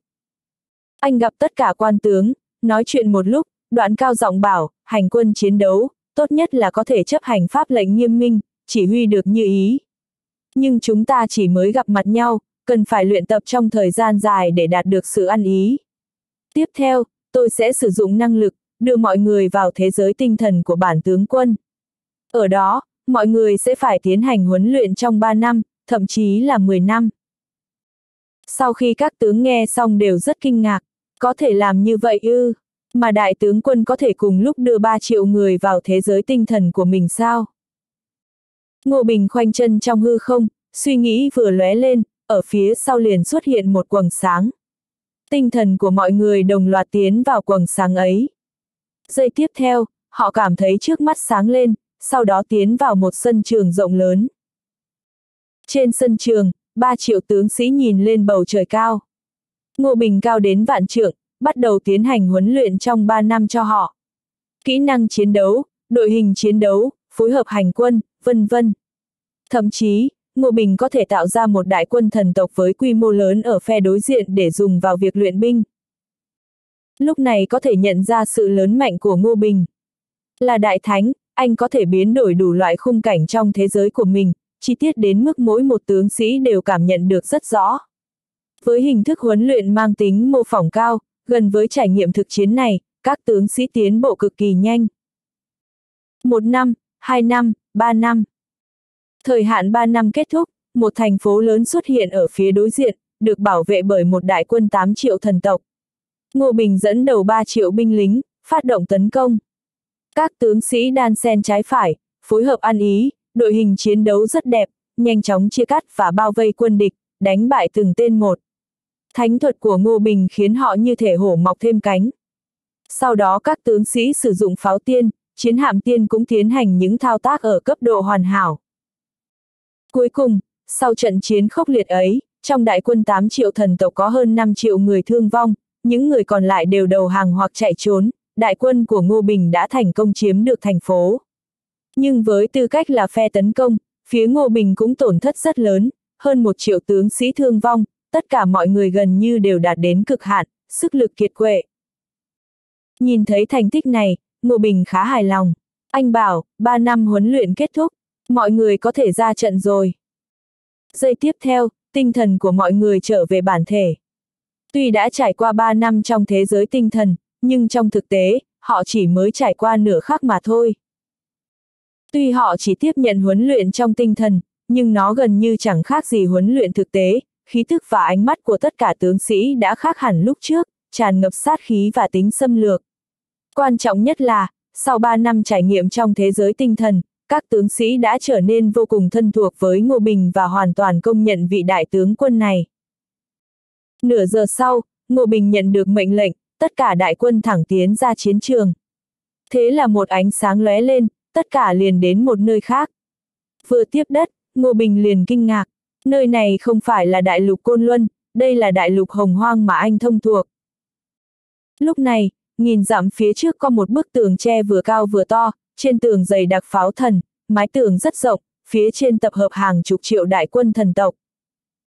Thiên soái xuất hiện trước mặt Ngô Bình, hỏi anh có phải cậu thấy ngạc nhiên không? Ngô Bình đáp vâng, thiên soái. Mà tướng vốn nghĩ chiến trường nằm ở đại lục Côn Luân. Thiên soái nói, nơi này là trận nhãn của khuyên giới. Hạ được nơi này, khuyên giới sẽ biến mất. Ngô Bình hỏi, thiên soái, khuyên giới biến mất, chẳng phải tu sĩ trong khuyên giới cũng sẽ chịu ảnh hưởng rất lớn sao? Thiên soái trả lời, đây là điều không thể tránh khỏi. Sau khi khuyên giới biến mất, đại lục Côn Luân, đại lục Hồng Hoang và một vài thời không khác sẽ hợp lại với nhau lần nữa, hình thành một thế giới hoàn chỉnh. Ngô Bình rất kinh ngạc, trước đây những đại lục này từng nối liền thành một thể ư. Thiên soái đáp, đúng thế. Đại lục hồng hoang hoàn chỉnh đã bị chia cắt thành mười mấy phần, nằm ở những thời không khác nhau, nhưng chúng đều ở khuyên giới cả. Có một số thời không ngăn cách lẫn nhau. Mục tiêu của Đại Tiên Tôn chính là ghép nối tất cả những phần ấy để xây dựng lại một đại lục hồng hoang hoàn chỉnh. Ngô Bình nói, mà tướng vốn nghĩ rằng thứ mà Đại Thiên Tôn muốn tranh giành chỉ là cấm địa của đại lục Côn Luân. Thiên soái bảo, cấm địa của đại lục Côn Luân chỉ là một phần. Chỉ khi ghép lại hoàn chỉnh đại lục hồng hoang thì cấm địa hoàn chỉnh mới xuất hiện. Đó mới là thời cơ mở ra cấm địa. Chẳng trách thần tộc lại xem trọng như vậy, đại quân hàng chục triệu của thần tộc đóng quân ở đây. Thiên soái nói, hiện nay thần tộc đang đối diện với sự vây đánh từ rất nhiều thế lực, là cơ hội nghìn năm hiếm có. Nếu lần này không thành công, sau này sẽ rất khó gặp được cơ hội như vậy nữa. Lúc này Ngô Bình phát hiện trên bức tường thành đã xuất hiện thêm cả nghìn luồng khí thức quen thuộc. Anh cảm ứng chúng, đoạn nói, phía thần tộc cử ra thần tiên, có cao thủ cấp tiên vương và cấp tiên hoàng. Thiên soái nói, cao thủ thì chúng ta cũng có, không cần lo về điểm này. Quả nhiên, không lâu sau đó, Ngô Bình cũng cảm nhận được cả nghìn luồng khí thức cực mạnh ở phía sau lưng. Chủ nhân của những khí thức này đều là tu sĩ tiên đạo hùng mạnh. Ngô Bình cười nói, trước đây tôi cảm thấy nhân tộc rất yếu ớt. Giờ thì xem ra là tôi không hiểu nhân tộc rồi. Thiên soái cười bảo, năm xưa nhân tộc từng hai lần tấn công thần vực, đánh đến mức thần tộc không có sức chống đỡ. Nay tiên đạo hưng thịnh, năng lực tổng thể của chúng ta thật ra mạnh hơn thời của thái cổ chân nhân và thời của các thánh. Chẳng qua, muốn tập hợp sức mạnh của nhân tộc là chuyện rất khó. Lúc này, thiên soái thấy binh mã đã đông đủ, liền phất tay, cao giọng nói tiền quân, xông lên. Ngay lập tức, 5 triệu tiền quân tinh nhuệ nhất với sự phối hợp của 100 chiến hạm tiên hùng mạnh, 100.000 khẩu pháo tiên và đại quân hàng triệu con rối thiên tiên, đã xông thẳng vào tường thành. Hàng vạn khẩu pháo bắn ra, giữa tiếng pháo rền, không ngừng có tướng sĩ bị bắn tan tác, không ngừng có pháo tiên bị hủy diệt, chiến đấu rất khốc liệt. Ngô Tiểu Bình, bản soái lệnh cho cậu dẫn dắt tả quân, tấn công vào bên trái. Chia sẻ áp lực với tiền quân. Trong 3 năm qua, họ đã luyện tập vô số lần. Vừa nghe lệnh của Ngô Bình, 3 triệu tướng sĩ liền tuần tự phát động tấn công về phía bên trái tường thành. Đồng thời, Hiếu quân cũng xuất phát, ba đạo quân cùng lúc tấn công, tổng binh lực hơn chục triệu. Ngô Bình biến hình, cùng 10 con rối ma thần lao ra phía trước. Bom đạn sẽ bắn vào người họ đầu tiên, thần thuật cũng rơi xuống người họ trước tiên. Ngay cả con rối ma thần khi đến gần tường thành cũng đã bị đánh tả tơi, mất tay mất chân, gần như đổ gục. ầm ầm, Hai con rối ma thần ngã xuống đất, tám con rối còn lại cùng Ngô Bình tiếp cận tường thành. Trên tường thành có cấm chế rất khủng khiếp, con rối ma thần vừa chạm vào đã bị vỡ thành từng mảnh ngay lập tức. Ngô Bình giận dữ giống lên, đấm mạnh vào tường thành. Lực hỗn loạn đánh vào khiến tường thành lập tức bị thủng một lỗ lớn. Đôi mắt sáng rực lên, thiên soái không ngờ Ngô Bình còn có năng lực đánh xuyên qua tường thành, bèn dõng dạc nói, trung quân, hậu quân, dốc toàn lực hỗ trợ tả quân công thành. Âm. Um. Trong không trung, cao thủ thần tiên hai bên bắt đầu chiến đấu. Thi thể của những kẻ mạnh ấy không ngừng rơi xuống. Lửa mịt mù, kiếm khí ngập trời, thần thông lóe sáng, pháp thuật xuất hiện, tựa như là một thế giới khác vậy. Ngô Bình đã đánh vỡ một phần tường thành bằng 10 cú đấm liên tiếp, cấm chế đã xuất hiện lỗ hổng. Có điều cấm chế này cực kỳ lợi hại, bắt đầu tự động sửa chữa. Thế là Ngô Bình chen vào chỗ hở ấy rồi gầm lên, xông vào hết cho tôi. Ba quân đồng loạt xông vào, lao vào tường thành qua lỗ hở, đánh trực diện với đại quân thần tộc. Dưới sự tấn công của Ngô Bình, chỗ hở ngày một lớn dần, lượt tướng sĩ chen vào ngày một nhiều lên. Chẳng bao lâu sau, khu vực một phần năm tường thành đã bị đại quân tiên đình chiếm cứ. Hai bên bắt đầu đánh giáp lá cà, máu tươi văng tung tóe, không ngừng có người gục xuống. Đôi bên đánh đến long cả mắt, vùng đao hô kiếm, đại pháo oanh tạc, tàn khốc vô cùng. Lỗ hổng càng ngày càng lớn, cuối cùng, toàn bộ đại quân tiên đình đều xông vào tường thành. Trận chiến vô cùng ác liệt, đội bên đánh suốt ba ngày ba đêm, đầu người chất đống như núi, song tiên đình và thần tộc vẫn không ngừng đưa quân tham chiến. Là người có năng lực kinh thiên động địa, nhưng Ngô Bình cũng mệt đến mức gân cốt rã rời, chỉ muốn nằm xuống đất nghỉ ngơi, nhưng trước mặt anh vẫn còn vô số quân địch. Lúc này có thể nhìn ra năng lực của tả quân do Ngô Bình huấn luyện.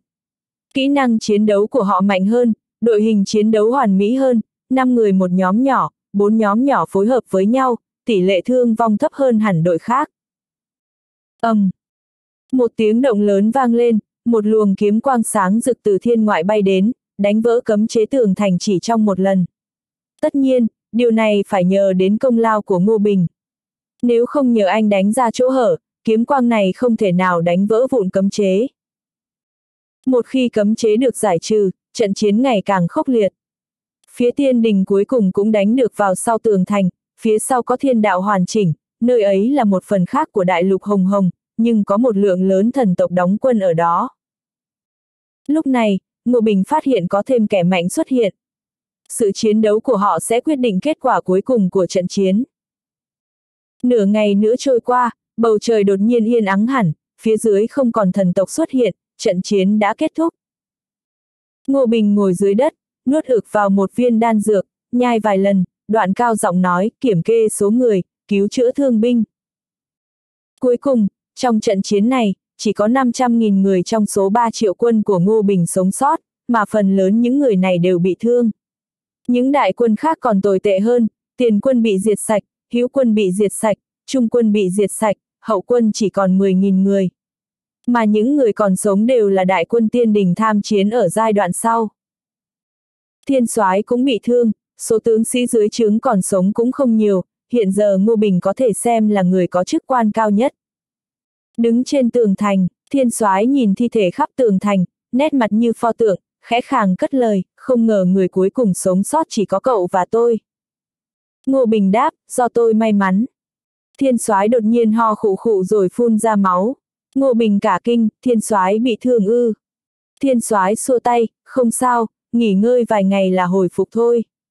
Ngô tướng quân, cậu hãy dẫn các chiến binh đến đối diện tường thành nghỉ ngơi. Không bao lâu nữa, Đại Thiên Tôn sẽ xét công ban thưởng. Ngô Bình ôm quyền, vâng. Anh dẫn 500 người thương binh đi xuống tường thành, dựng trại ở một vùng đất bằng phẳng. Người bị thương quá nhiều, Ngô Bình vội vàng luyện chế đan dược, giúp họ chữa vết thương. 3 triệu đại quân, chết hơn 2 triệu, vẻ mặt ai cũng cứng đờ. Đội của Ngô Bình có nhiều người nhất nên những người còn lại đều lần lượt đến nương nhờ. Dần dần, binh lính của Ngô Bình đã hồi phục đến khoảng một triệu. Nghỉ ngơi ba ngày liên tục, trong ba ngày này, anh nhìn thấy càng lúc càng nhiều đại quân tiên đình đến đây và tiến hành đóng quân trong tường thành. Hôm nay, thiên soái đích thân đến trao thưởng. Trận chiến này, tả quân của Ngô Bình là nhóm đầu tiên phá thành, giết chết vô số quân địch, góp công lớn nhất. Mỗi người đều nhận được phần thưởng rất lớn, nhưng họ không vui nổi. Phần lớn đồng đội đã hy sinh, họ không thể cùng chia sẻ niềm vui nữa. Đêm ấy, Ngô Bình gọi Ngô Bình đến doanh trại. Trận chiến chỉ mới bắt đầu thôi, thiên soái bảo, thần tộc nhất định sẽ cử thêm nhiều đại quân đến đây tranh giành nơi này. Vùng đất này sẽ trở nên vô cùng nguy hiểm. Ngô Bình cao mày, ý thiên soái là thần tộc sẽ đánh trả. Thiên soái cười hỏi, ngô tướng quân có biết trước đây nơi này là đâu không? Ngô Bình nhìn lướt qua, tường thành to đến vậy, ngay từ đầu tôi đã cảm thấy nó không đơn giản. Thiên soái đáp, nơi này từng là nam thiên môn của thiên đình. Ngô Bình ngẩn ra, thiên đình, nam thiên môn. Thiên soái gật đầu, nhân tộc từng có một kẻ mạnh đột phá cảnh giới thánh hoàng, trở thành thiên thánh. Thiên thánh lập ra thiên đình, thời đỉnh cao còn từng đánh thần tộc đến mức khiến thần tộc buộc phải hợp sức với tộc khác. Khuyên giới mà chúng ta đang ở, thật ra là nơi thiên đình tọa lạc ngày xưa. Ngô Bình hiểu ra ngay, bèn hỏi, Đại Thiên Tôn muốn xây dựng lại thiên đình ư? Thiên soái đáp, đúng vậy. Xây dựng lại thiên đình, tập hợp sức mạnh của nhân tộc, đối chọi với thần tộc, giành lại huy hoàng cho nhân tộc. Đây là mong muốn của Đại Thiên Tôn, cũng là nguyện vọng của những người đi theo như chúng tôi. Ngô Bình nói, vậy nên bước đầu tiên là ghép lại thành một đại lục hồng hoang hoàn chỉnh. Thần tộc hiển nhiên biết được mục đích của đại thiên tôn nên mới dốc sức ra tay. Thiên soái nói, đến lúc ấy, hồng hoang sẽ thành lập một quốc gia thống nhất, tập hợp sức mạnh của mọi người lại với nhau. Chỉ có như vậy, chúng ta mới có thể đối đầu với thần tộc, trở thành tộc hùng mạnh. Ngô Bình hỏi, nếu thật sự là vậy thì đó cũng là chuyện tốt. Nhưng tôi nghe nói đại tai họa sắp đến rồi, không biết đại thiên tôn đã có cách ứng phó chưa? Thiên soái đáp, đại tai họa là chuyện không thể tránh khỏi, nhưng chúng ta làm như vậy sẽ có thể giảm thiểu đáng kể thương vong của những người dân vô tội trong đại tai họa. Ngô Bình nói, như thiên soái đã nói, thần tộc nhất định sẽ đánh trả, hiện giờ vẫn phải nghĩ cách chấn giữ Nam Thiên Môn. Thiên soái bảo, năm xưa có hai đại thánh chấn thủ Nam Thiên Môn, muốn xây dựng lại Nam Thiên Môn thì buộc phải tìm được một vị đại thánh. Nếu trận pháp của Nam Thiên Môn mở ra lần nữa, thì dù thần tộc có mạnh lên gấp 10 lần cũng rất khó công phá. Ngô Bình giật mình hỏi, không biết đã tìm ra đại thánh hay chưa? Thiên soái lắc đầu, vốn dĩ tìm được một người, nhưng người đó còn cách đại thánh một bước nữa, mãi vẫn không thể đột phá. Trước khi người đó đột phá, chúng ta chỉ có thể dốc toàn lực bảo vệ Nam Thiên Môn. Ngô Bình cho biết, tôi nghe nói đại lục Côn Luân từng có một đại thánh xuất hiện, tại sao chúng ta không mời vị ấy đến? Thiên soái đáp, người đó như thần long thấy đầu không thấy đuôi, phía chúng ta đã dốc sức tìm kiếm nhưng không thu được tin tức nào cả. Thiên soái, lần tấn công kế tiếp của thần tộc sẽ diễn ra vào khoảng thời điểm nào? Thiên soái suy nghĩ giây lát, với hiệu suất huy động của thần tộc, trong vòng 10 ngày, chắc chắn họ sẽ phản công. Ngô Bình do dự một chút rồi nói, thiên soái, tôi có quen một người bạn là đại thánh. Tôi có thể nhờ bạn tôi đến giúp. Đôi mắt thiên soái sáng lên, ô, là ai thế? Ngô Bình đáp, hoàng đế của đế quốc thiên võ, Lý Huyền Bình.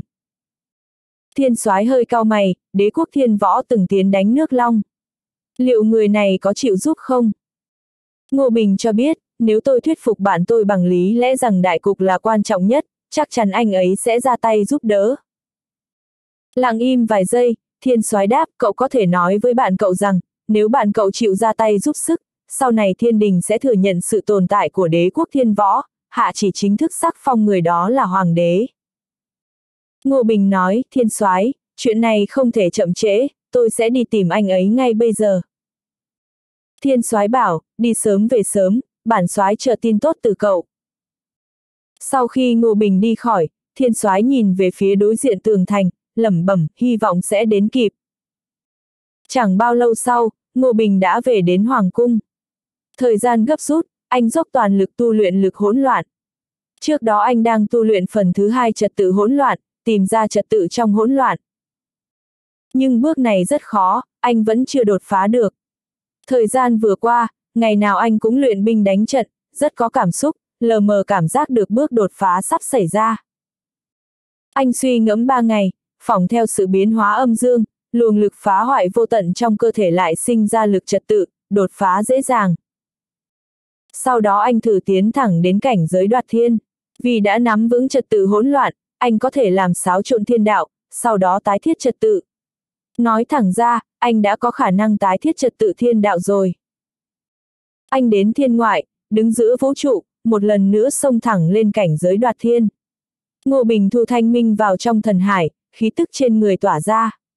Trật tự thiên đạo lập tức khóa chặt lấy Ngô Bình, kiếp lực khủng khiếp cuồn cuộn ập tới, muốn xóa bỏ anh. Nhưng trật tự vừa chạm vào Ngô Bình đã bị lực hỗn loạn đánh tan và trở về hỗn loạn. Sau đó, trong hỗn loạn lại sinh ra trật tự mới. Trật tự mới cực kỳ giống trật tự thiên đạo ban đầu, chỉ có sự khác biệt rất nhỏ. Chính sự khác biệt nhỏ này khiến trật tự thiên đạo mới vô cùng gần gũi với Ngô Bình. Âm. Um, khí tức của Ngô Bình thay đổi rất lớn, quanh người anh lập tức tràn ngập uy nghiêm đại đạo. Điều này cho thấy anh đã thành công đoạt thiên, dễ dàng kiểm soát trật tự thiên đạo. Nhưng chẳng được bao lâu, loại khí tức này lại biến mất, Ngô Bình trở về như bình thường.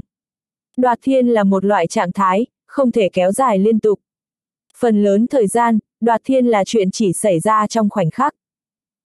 Lúc này Ngô Bình không còn là mục tiêu đuổi giết của thiên đạo. Anh mỉm cười, biết rằng cuối cùng mình cũng thành công rồi. Bây giờ mình mới là đoạt thiên tiên tôn thật sự. Đoạt thiên viên mãn, Ngô Bình lập tức bắt tay vào việc tu luyện vũ khí phán quyết công pháp sau hoàng cực võ thể, trong điện đường cực võ. Công pháp này chính là ngưng tụ sức mạnh trong cơ thể anh thành vũ khí, giúp nó có được lực trật tự, có thể dùng nó để trừng trị mọi thứ, giết chết tất cả. Bước này vốn rất khó, nhưng đối với người đã đoạt thiên và đạt đến giai đoạn trật tự hỗn loạn như Ngô Bình thì không khó chút nào, chỉ trong chốc lát đã luyện thành. Trong tay phải của Ngô Bình xuất hiện một thanh kiếm khổng lồ dài 10 mét, rộng 1 mét, chính là vũ khí phán quyết của anh. Kiếm quang bổ không gian ra, hồi lâu vẫn không thể khép lại, bởi lực trật tự đã tràn ngập bên trong. Cũng đến lúc rồi, anh nói với Thanh Minh, người tiếp tục hóa thân thành Ngô Tiểu Bình. Bây giờ chúng ta sẽ cùng đi gặp thiên soái. Trở lại Nam Thiên Môn, Ngô Bình thấy thiên soái đứng trên tường thành, phía sau đã tập trung 30 triệu đại quân và vô số cao thủ. Thiên soái đang nhìn về phía trước.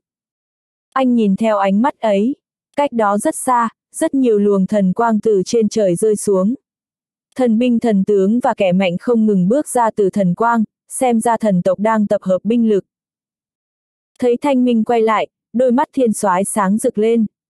Đoạn, thiên soái quan sát Ngô Bình, chắp tay chào, chào hoàng đế thiên võ. Ngô Bình khẽ gật đầu, ông chính là thiên soái, nghe danh đã lâu. Thiên soái nói, không ngờ bệ hạ đã tiến vào cảnh giới đại thánh, thật đáng mừng. Ngô Bình bảo, không cần nói những câu khách sáo, tôi đã nắm rõ mọi chuyện rồi. Hãy nói cho tôi biết, làm cách nào để thức tỉnh trận pháp của Nam Thiên Môn. Trịnh trọng lấy ra một chiếc ấn lớn màu vàng, thiên soái nói, đây là ấn chương của của Nam Thiên Môn. Cầm ấn này sẽ có quyền mở và đóng Nam Thiên Môn. Mời Hoàng đế Thiên Võ nhận ấn. Ngô Bình cầm ấn bằng cả hai tay, rót thánh lực vào, trong ấn có một luồng sức mạnh liên lạc với anh. Thân phận đại thánh của Ngô Bình được ấn công nhận, tế luyện hoàn thành chỉ trong tích tắc. Sau đó, trong đầu Ngô Bình xuất hiện khung cảnh của cả Nam Thiên Môn. Anh bay ra sau tường thành, nơi này có một đài ngọc nhô ra, không biết đã trải qua bao nhiêu năm rồi. Anh đứng trên đài ngọc, sức mạnh của ấn rót vào mặt đất.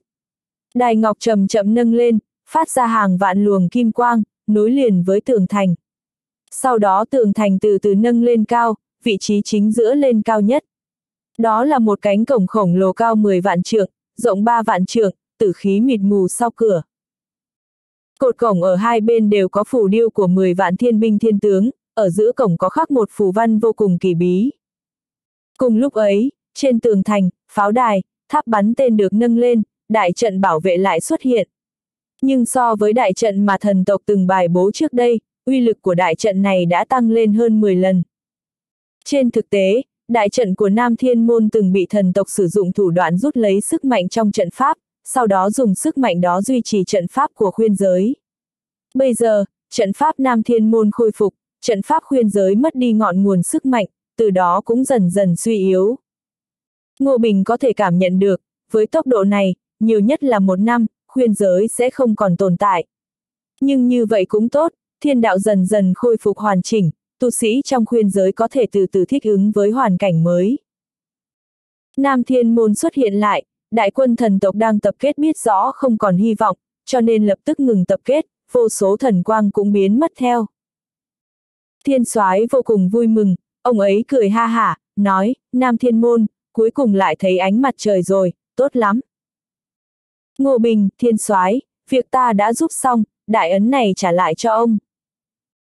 Thiên soái cười nói, Hoàng đế thiên võ, trước mắt chỉ có cậu mới có thể nắm giữ nó. Ta đã nói rõ với Đại Thiên Tôn, Đại Thiên Tôn đánh giá cậu rất cao, quyết định trao quyền cai trị đại lục hồng hoang ở phía nam của Nam Thiên Môn cho đế quốc thiên võ. Nhưng mà, Đại Thiên Tôn có một yêu cầu, hy vọng cậu có thể sửa đổi tên nước thành nước thiên võ. Ngô Bình, ta không làm hoàng đế mà lại làm quốc vương, người cảm thấy ta sẽ đồng ý.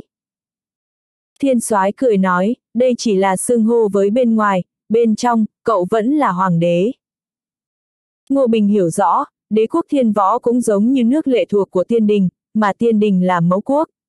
Thật ra anh cũng không để ý đến việc này, chỉ cần lấy được lợi ích thực tế, gọi là cái gì đều không quan trọng, dù sao anh chính là hoàng đế của đế quốc thiên võ, không ai có thể nghi ngờ điều này. Được thôi, tôi đành miễn cưỡng làm theo, chấp nhận điều kiện của Đại Thiên Tôn. Anh thản nhiên nói. Ngô Bình, không còn chuyện gì khác, vậy tôi xin tạm biệt. Thiên soái, tôi tiễn bệ hạ. Khi Ngô Bình đi, ông ấy nói với Thanh Minh, tiếp tục làm Ngô Tiểu Bình đi. Thanh Minh, vâng. Về đến nhà, Ngô Bình dùng thân phận hoàng đế thiên võ xuất hiện trước mặt các thần tử, trong lúc nhất thời, toàn bộ hỗn loạn trong nước đều biến mất.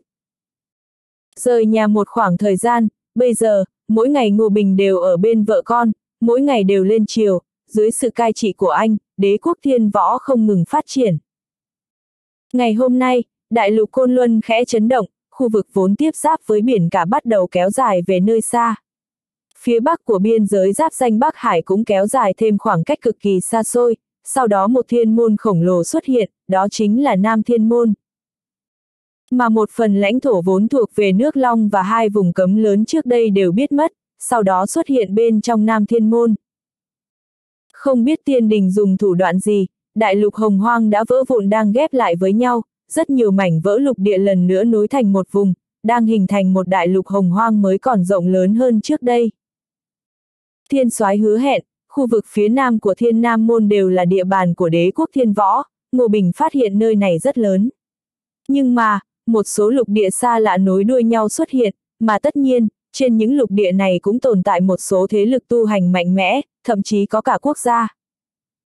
Lúc này Ngô Bình mới hiểu rõ, Đại Thiên Tôn giao cho anh khu vực ngoài Nam Thiên Môn cũng không phải xuất phát từ lòng tốt, mà rất có thể là muốn mượn tay anh thống nhất các thế lực ở khu vực này.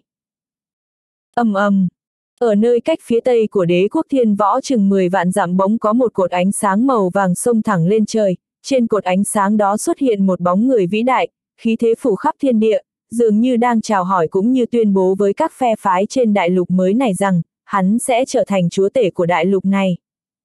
Cột ánh sáng vừa biến mất, phía nam có một hư ảnh thần ưng bay vào trong chín tầng trời, hai cánh do vô số phù văn tạo thành, cảnh tượng này cực kỳ khiến người ta khiếp sợ.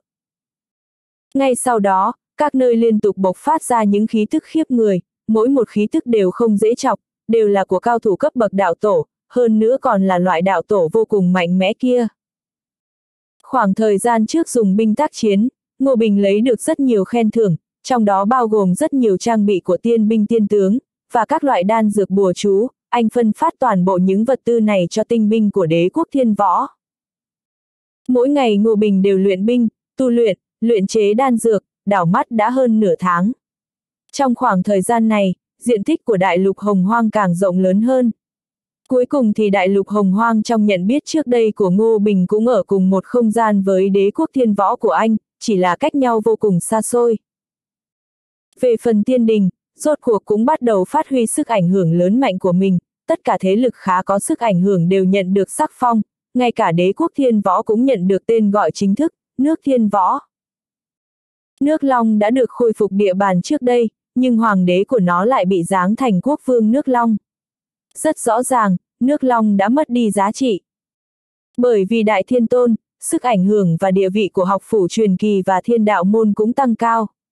Trời Nam Biển Bình, vô số tu sĩ của đại lục hồng hoang hội tụ, gia nhập hai thế lực lớn này. So ra thì, Côn Luân kiếm cung của Ngô Bình không có danh tiếng gì, người đến nương tựa cũng không nhiều. Mặc dù sức ảnh hưởng của tiên đình tăng lên, nhưng sức ảnh hưởng của thần tộc vẫn còn đó, dù sao hai bên vẫn đang chiến đấu, chưa phân thắng bại. Trước mắt, tiên đình chỉ là lấy được quyền khống chế đại lục này mà thôi. Hơn nữa hiện giờ, sự khống chế của tiên đình đối với địa lục hồng hoang mới chỉ giới hạn ở khu vực rất nhỏ, thế lực trong khu vực rộng lớn hơn hoàn toàn không phục tùng tiên đình. Đáng nói chính là, hai thần tướng chấn thủ tà ma qua lại thân thiết với anh lúc trước lập được công lớn trong trận chiến này, bây giờ đều đã là tướng quân trong tiên đình, bởi vậy tu vi cũng tăng nhanh vượt bậc. Ngô Bình có thể cảm nhận được, sức ảnh hưởng và thế lực của tiên đình đang vững bước tăng lên, anh có thể chắc chắn, quyền uy của tiên đình sẽ từ từ thẩm thấu đến mỗi một ngóc ngách. Quả nhiên, trong khu vực chịu ảnh hưởng của tiên đình bắt đầu thành lập phủ nha, huyện nha, hương quán, thống nhất tiền tệ, tiêu chuẩn đo lường. Ngày hôm nay, Ngô Bình đang truyền thụ kiếm thuật cho đệ tử trong Côn Luân Kiếm Cung, chợt thấy sau núi có một luồng kiếm quang sông lên tận trời. Đây là hỏa hoàng nhi đột phá rồi, thiên cực kiếm kinh của cô bé đã tu luyện đến tầng 22, thật ra thực lực cũng không dưới Ngô Bình. Ngô Bình rất vui vẻ, nói, Hoàng Nhi, từ giờ trở đi, con chính là cung chủ mới của Côn Luân Kiếm Cung.